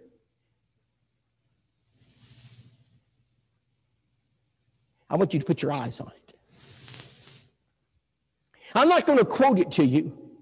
I want you to listen to it. I want you to come face to face with the Word of God. Brother, you want to break down the hardest of hearts? Let them read the Bible. You want to bring, you want to break down the most immoral of people? Let them read the Bible. Friends, it's hard to win an argument with God. But I can easily win it with you. We have got to take ourselves out of the equation. And we have got to put them in the text. Because the Word of God has the power to save. I am not ashamed of the gospel of Christ, for the gospel of Christ is the power of God to save. Scarlett told me two things that night before that last Bible study. Here's the second thing. She said, Rob, after I became a Christian, she said, my best friend was in my room.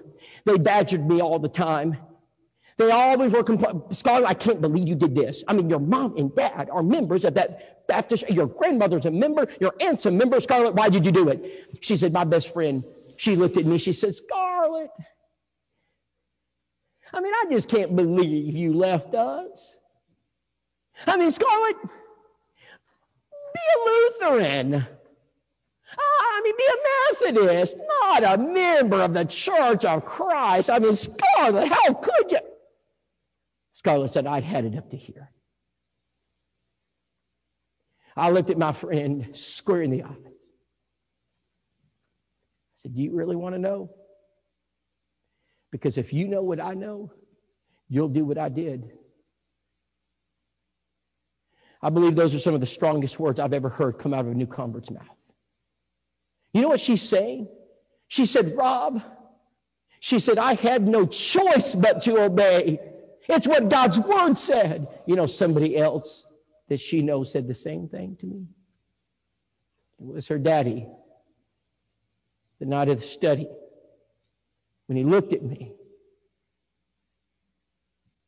He said, I have no choice.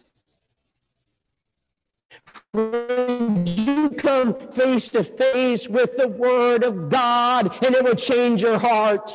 You, it will take down all the religious error because this book has the power to save souls, and we need it to dwell in our hearts. Stop telling them what the Bible says and let them read it.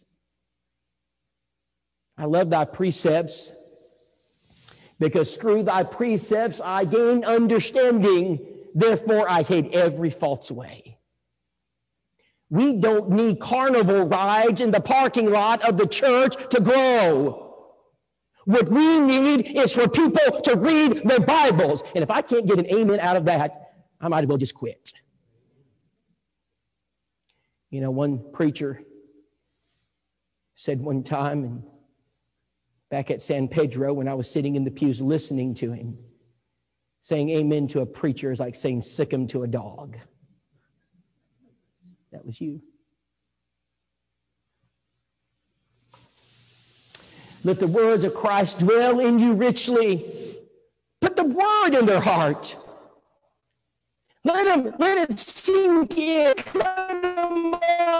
a little bit. And the devil's had them long enough. Now it's the Lord's turn. This is the third thing you need to write down. We need to learn to plant and stop picking.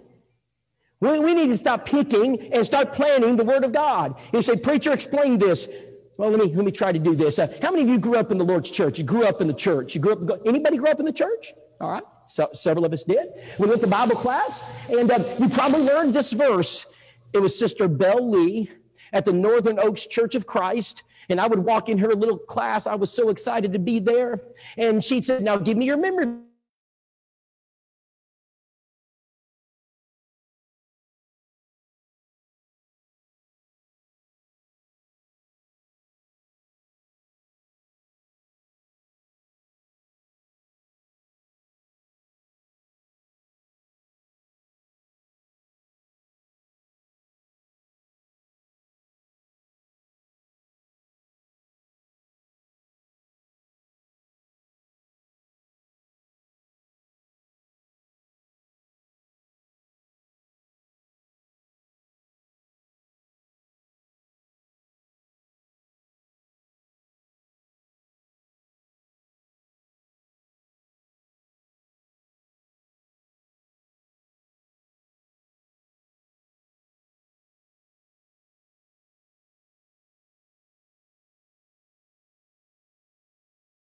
in our planting. And so I decided I'm going to write a book. You know, every preacher student needs to write a book. That's the first thing you need to do when you get out of school, right? That's the last thing you need to do. And I said, I tell you what, I'm going to write this book called Evangelistic Perception because I've got it nailed, you know. After I've learned everything there is to know. I could not have been more wrong. Brother, we don't need to be selecting, we need to be planting it to everybody. Well,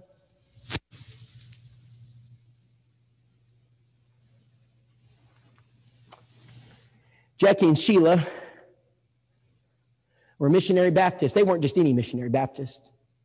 They're the leaders of that missionary Baptist church. People would say, don't bother with Jackie and Sheila because they're never going to obey.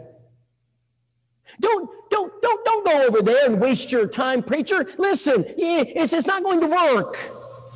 Preacher, you got better, you know, there, there are better options out there than Jackie and Sheila. Can you advance the slide for me, please? It's not working.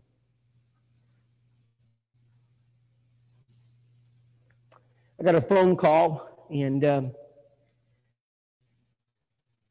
it was an eldership, and they said, Rob, uh, would you come teach us how to would you come teach us how to do some evangelism? I said, I'd love to do that. I grabbed a group about 15 of us and we, we scheduled it and we, we drove our vehicles over and they were going to put us up and feed us. All we had to do was teach them and work. And so I, I we, we, we arrived at the church building and there was the deacon of evangelism. Of course, you got to have a deacon of evangelism. And the deacon had the map out. I love maps. Love maps. Had the map out, hit a quadrant off. One, two, three, four. And, and on quadrant four, there was an X. He's explaining the quadrants. He said, now listen. He said, now I'm going to put you guys over in quadrant one. I said, wait, I have a question. I said, why is there an X on quadrant four? He said, oh, um, Rob, not good candidates for the gospel. They're Rob. You know, a little bit undesirable. Rob, I, think, well, I tell you what, the elders and I talked about it, and we think the kind of people we want, we're going to put you in quadrant number one. I, I said, uh, brother, I said, I think I'll take quadrant four. He said, Rob, you're not listening. He said, now, very undesirable in that area. He said, they always want money. I said, now, I tell you what, brother, you put me in quadrant four because I think that's exactly where Jesus would go if he was standing here. Whether we are planters, our job is to plant the seed to every single person. We have a prejudice problem in the church and I'm not talking about skin color. What I'm talking about is a spiritual prejudice where we selectively choose who we're going to teach. You know, Rob, let me, let me share with this how this works. Rob, don't go over there. There's two women living in the same house, and I think they're. And Rob, don't go over there because you because that man over there you see the bottles in his yard? He's a drinker. And Rob, stay over, stay away.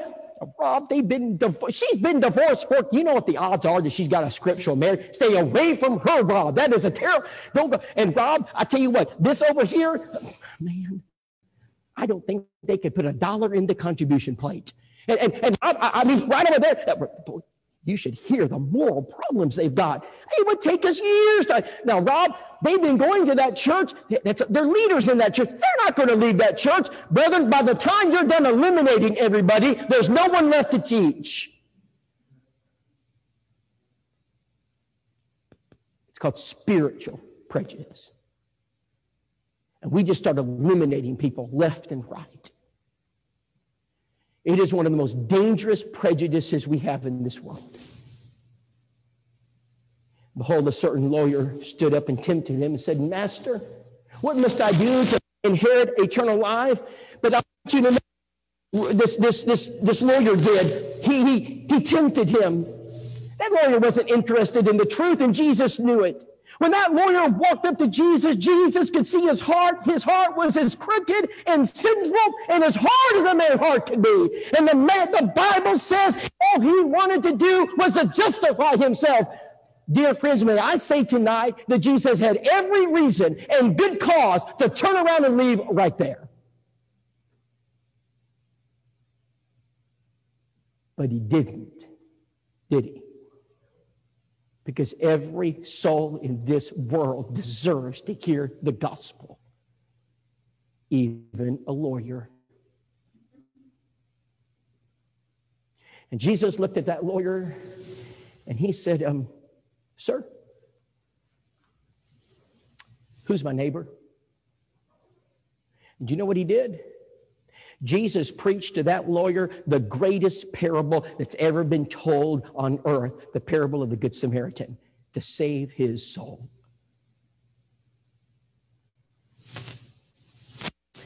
May I suggest to you that Jesus was not in the picking business? For Jesus was in the planting business. My, my, my, family, we, we were out at Willette, and uh, Willette's a, it's out in the middle of nowhere, folks. I, it's hard for me to explain this. Um, and um, we're on what we call Willette Mountain, foothills to the Smokies. And there's not a lot of people, it's just farmers, uh, cornfields, uh, um, cows. And, um, but the farmers need to eat. So they opened this little, this little brick and mortar store across the street. It's probably built in 1900. They cleaned it up and opened it up to serve food, breakfast and lunch. Well, I don't know how much you know about farming, but farmers, they don't eat, they don't eat breakfast the same time preachers do, Brother Dan. See, farmers eat breakfast about five o'clock in the morning. I'm not even up at five o'clock in the morning. But that's a, so I never got to eat breakfast there. They're always sold out. But now when it comes to lunch, I'm awake. And about 11 o'clock, they start serving, and you better get there. So my kids run, Daddy, Daddy, it's 11. You may, let's get there. We know if we're not there by 11.30, it's gone. So we get over there, we walk across the street in this old store, and and uh, and everybody knows everybody. And uh, hey, everyone, hey, well, here he comes, that Campbellite. Huh? Yeah, here he comes. Come on in here, Campbellite. Come, you waterlog, come on in here. And I was like, what? Now, the old Rob would have walked up to that man and told him exactly what a Campbellite was. And I'd quoted more scripture than the man ever heard in his life. But that would have done nothing to save his soul. I'm not there to win an argument. I walked over to him. I said, Sir, do you see that sweet lady over there, that pretty lady? That's my wife. Best cook in Macon County. That little girl right there, best dessert maker you'll ever meet. I tell you what, tonight, my wife wants you to come to our house. I want you, she's going to cook you the best meal you've ever eaten in your life. Really? I said, Yes, sir. And that little girl right there to cook you the best dessert you've ever tasted. Really? I said, Yes. And afterwards, we're going to have a Bible study. Huh? Uh, now, pre- simmer down now, preacher. Now, preacher, there's no need for you to talk like that. Now, I didn't ask for no Bible study. Do you know what just happened? I planted and he picked. It's biblical. In Acts 13 and 46, Paul and Barnabas waxed bold and said it was necessary that the word of God first should be spoken to you. But see, you put it off from yourselves, not me. You put it off from yourselves. And you, not me, you judge yourselves unworthy of everlasting life. Lo, we turn to the Gentiles. Brother, I'm not in the picking business. I'm in the planting business. And if a man is going to not obey God, it's not going to be because I didn't try to teach him. It's not going to be because I judged his heart. It's not going to be because I said he's not worthy. It's going to be because he said it. And shame on us if we have practiced picking instead of planting. Some of, some of the most faithful conversions we've had have been from people that others would have said would have never obeyed the gospel. Because I believe the scripture has the power to divide the honest heart from the deceitful. I got a, I got a phone call once uh, after Sheila became a Christian and she was frantic. She said, Rob? I said, yes, Sheila. She said, Rob, I just can't do this anymore. asking me, Rob, why I left.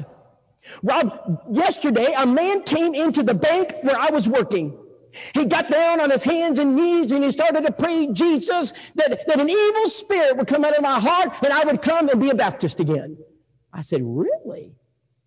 She said, Rob, it was so embarrassing. I can't do it anymore. Rob, I quit. I said, Now, Sheila, uh, I can't imagine what you're going through. I can't even imagine how you feel. Sheila, would you try one thing before you quit? I knew you'd say that, Rob. And I said, Well, just one thing. I said, The next time someone comes to you and I don't know, makes you feel bad because you left or claims to call some spirit out of you, um, invite him to your house for dinner. Dinner? Did you hear what I just? I said, Yes, Sheila, but you love to make dinner. Invite them to your house for dinner. Now, why would I do that? And I said, Because after dinner, you're going to invite them to have a Bible study. Now, Bob, I can't do a Bible. I said, Yes, you can, Sheila. Back to the Bibles right out there in the entryway. Grab yourself your set, and I want you to have a Bible study. You and Jackie can do it. Rob, are you sure I should be doing this? I said, I'm 100% certain. Sheila never asked us again about that. I was so curious. Nicole and I, she said, Rob, whatever happened to Sheila? I said, honey, I don't know. I said, but let's find out. I called her. I said, Sheila, Remember that phone call you had months ago? Oh, yes, Rob. Now, I was just upset. And I said, I know. I said, well, tell me what happened. She said, well, I took your advice. Somebody did that to me again. And she said, I told them to come over to my house for supper and we'd have a Bible study. She said, Rob, I haven't seen him since. She planted, they picked. Did you write those three things down in your book? Number one, defer, don't debate. Number two, show, don't tell. Number three, plant, don't pick. After I left my second work, we were baptizing, we were growing. We started about 110, 120, 130, 140. I mean, we were just growing. And um, I had an opportunity to go to Willette, and uh, it was hard. but we left Hillsboro, and um, and I didn't know what was going on. I, I, it's hard to keep up with. I, I, I to stay out of a church after I've preached. I don't want to be a hardship to the preacher, so I don't ask a lot of questions. But a member came up to me after a couple of years. He said, "Rob, I really need to talk to you." And I said, "Sure." And he said, "Rob." Um, he said, that new preacher we hired at Hillsboro. I said, yeah, tell me what's going on. He said, Rob, he tells everyone that evangelism doesn't work today. I said, really? He said, yes. He says, yeah, yeah, we're, um, we're Generation X, you know, Z, was it P? What, what are we in now? Whatever it is. He said, they don't do Bible studies. I said, news to me. I said, what, what, what, does he tell you that work? He said, you go to the internet, internet shops after all. And, and, you know, you, you just had good conversation about Jesus. You know, just have a good talk about the Lord and invite them to church. And, and, and I said, when they come, what does he do next? He said, oh, he said he preaches and they come forward and they're baptized. I said, okay. I shall be, I, I said, brother, I, I said, I just have one question for you. How is it working for you? He said, that's the problem. Rob, we haven't had a baptism since you left. Have we forgotten, brothers and sisters, that the Bible says the law of the Lord is perfect, converting the soul? If we want people to come to Jesus, what they need is a Bible study, not a little talk about Jesus. We need to get them to the book. I'll end with this. He told me his story years ago. I said, Would you let me, would you write it down and would you let me tell it? Because there's a lesson that the church needs to hear. He says, You may use it if you think it will help. I had little interest in the church during my teenage years. It wasn't until I joined the Navy at the age of 19 that I realized there was something missing in my life. And I began my search for the church of the Bible. After visiting different denominations, I finally visited the Church of Christ, where I was based at a naval air station at Patuxent River, Maryland. I had no idea at the time that my brother Terry, he was actually pursuing the ministry in the Church of Christ. Morning, I decided to take a taxi to the nearby Church of Christ in Lexington Park, Maryland. I was immediately surrounded as they showered me with attention. They insisted on taking me out to eat and returning me to the base. They provided me transportation from services from that day forward. I did not know anything about communion, so I took communion along with everybody else. It was not soon after attending that a young fellow sailor came up to me and he learned that I was not a member of the Church of Christ. discouraged me from taking communion. It was okay. I just continued to, I, I continued to, um, I continued going. The members, you know, they were very hospitable. They even provided me transportation, took me out to eat. It was not long before their minister, Frank Starling, had me into his home for a Bible study. He said, I think it was the Jule Miller film strip studies. He took me through all the studies, and it was very evident that I was at the church of the Bible. He says, soon thereafter, 1965, after completing the final study, I was baptized into Christ for the remission of my sins.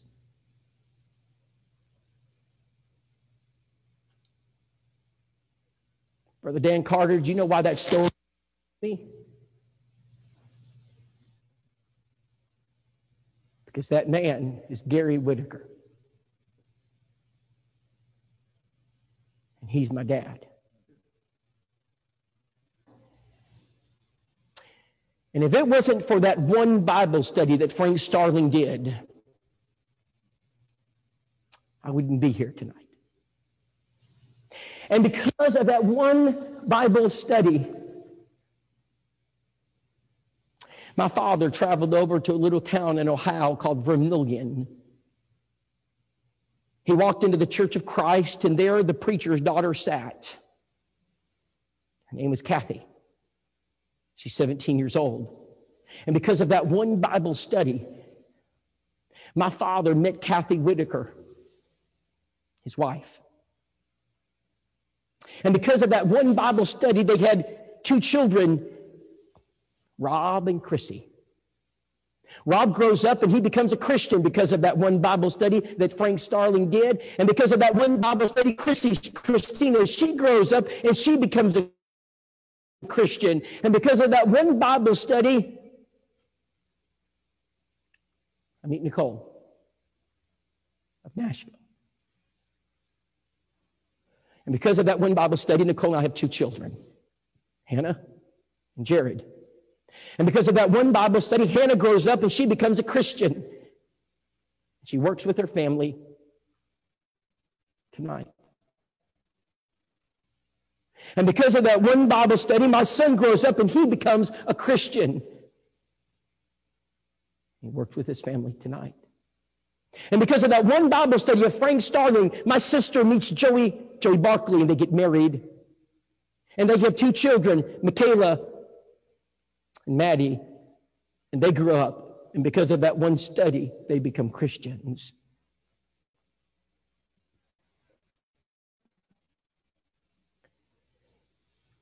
Tonight, I'm not asking you to change the world. God is not asking you to grow the church by yourself. Tonight, there's no expectation that by yourself this is all going to turn around, but I can tell you this tonight.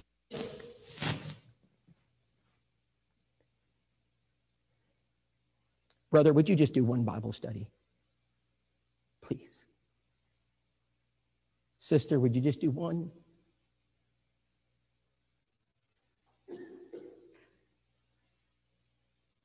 Thank you for being here. I hope you'll come back tomorrow night. We're going to continue our lessons together. I, I pray that it will be worthy of your time. I know that uh, there are many things to be doing. And but tomorrow we're going to learn how to get into a Bible study from Jesus. He was he's a master at it. And I, w- I do want to mention one thing before you go tonight. And I know some of you are watching, uh, I guess, on a Facebook feed or a, maybe a YouTube feed, a website. And uh, I have materials available. And if you can't be here to get them, um, maybe you can just um, let an elder know or a member know, and they can pick them up for you. Or maybe during the day when you come and get your workbook, I think the elders are providing this if you want to come get it. And uh, the back of the Bible, if you're watching on our um, uh, uh, on the on the internet stream, you can come get that. There are materials on the table, and um, just let us know. We'll make sure you get them. But these are for sale on the table. I wish I could give them to you. I, I really do, but I can't buy the literature for the church. So um, this is uh, this is called the Old Testament simplified, and I have the New Testament simplified. And uh, um, I did this. Uh, why did I do this? Because I want people to learn the Bible, and um, to me, the Bible was always hard to learn because it was so big. So I wanted to simplify it. So what I did is I made uh, I broke it down to simple rhymes. I started rhyming the Bible and I rhyme chapters, and I, I do that to teach people the Bible. And I'm going to give you an example, and then you're dismissed. Um, Acts chapter 1, the work of Jesus on earth is done. One, done. In chapter 2, the church is in view. To view. In chapter 3, Peter and John heed the lame man's plea. Three, plea. In chapter 4, open comes the jailhouse door. Four, door. In chapter 5, Ananias and Sapphira, they tell lies. But in chapter 6, there are seven servants picked. In chapter 7, Stephen looks into heaven. In chapter 8, there's the Simon's fate. There's Simon the Great and the eunuch's fate. In chapter 9, did you know Saul was struck blind? And in chapter 10, they let the Gentiles come in. I do that through the Bible. I either alliterate it or I rhyme it, and those are on the table. If you think they could help you in understanding the Bible, I would, I would uh, provide those for your consideration. Thank you for being here tonight. Let's pray and we'll be dismissed. Our Father, we're grateful for eternal life. Thank you, Father, for allowing us to study thy word. We thank thee for thy humble servant, Brother Carter, and for the elders that are here shepherding this flock. Bless this church and those who are attending. We pray that the spirit of evangelism will be revived in the church in America. Help us to rise, Father, even though times are low.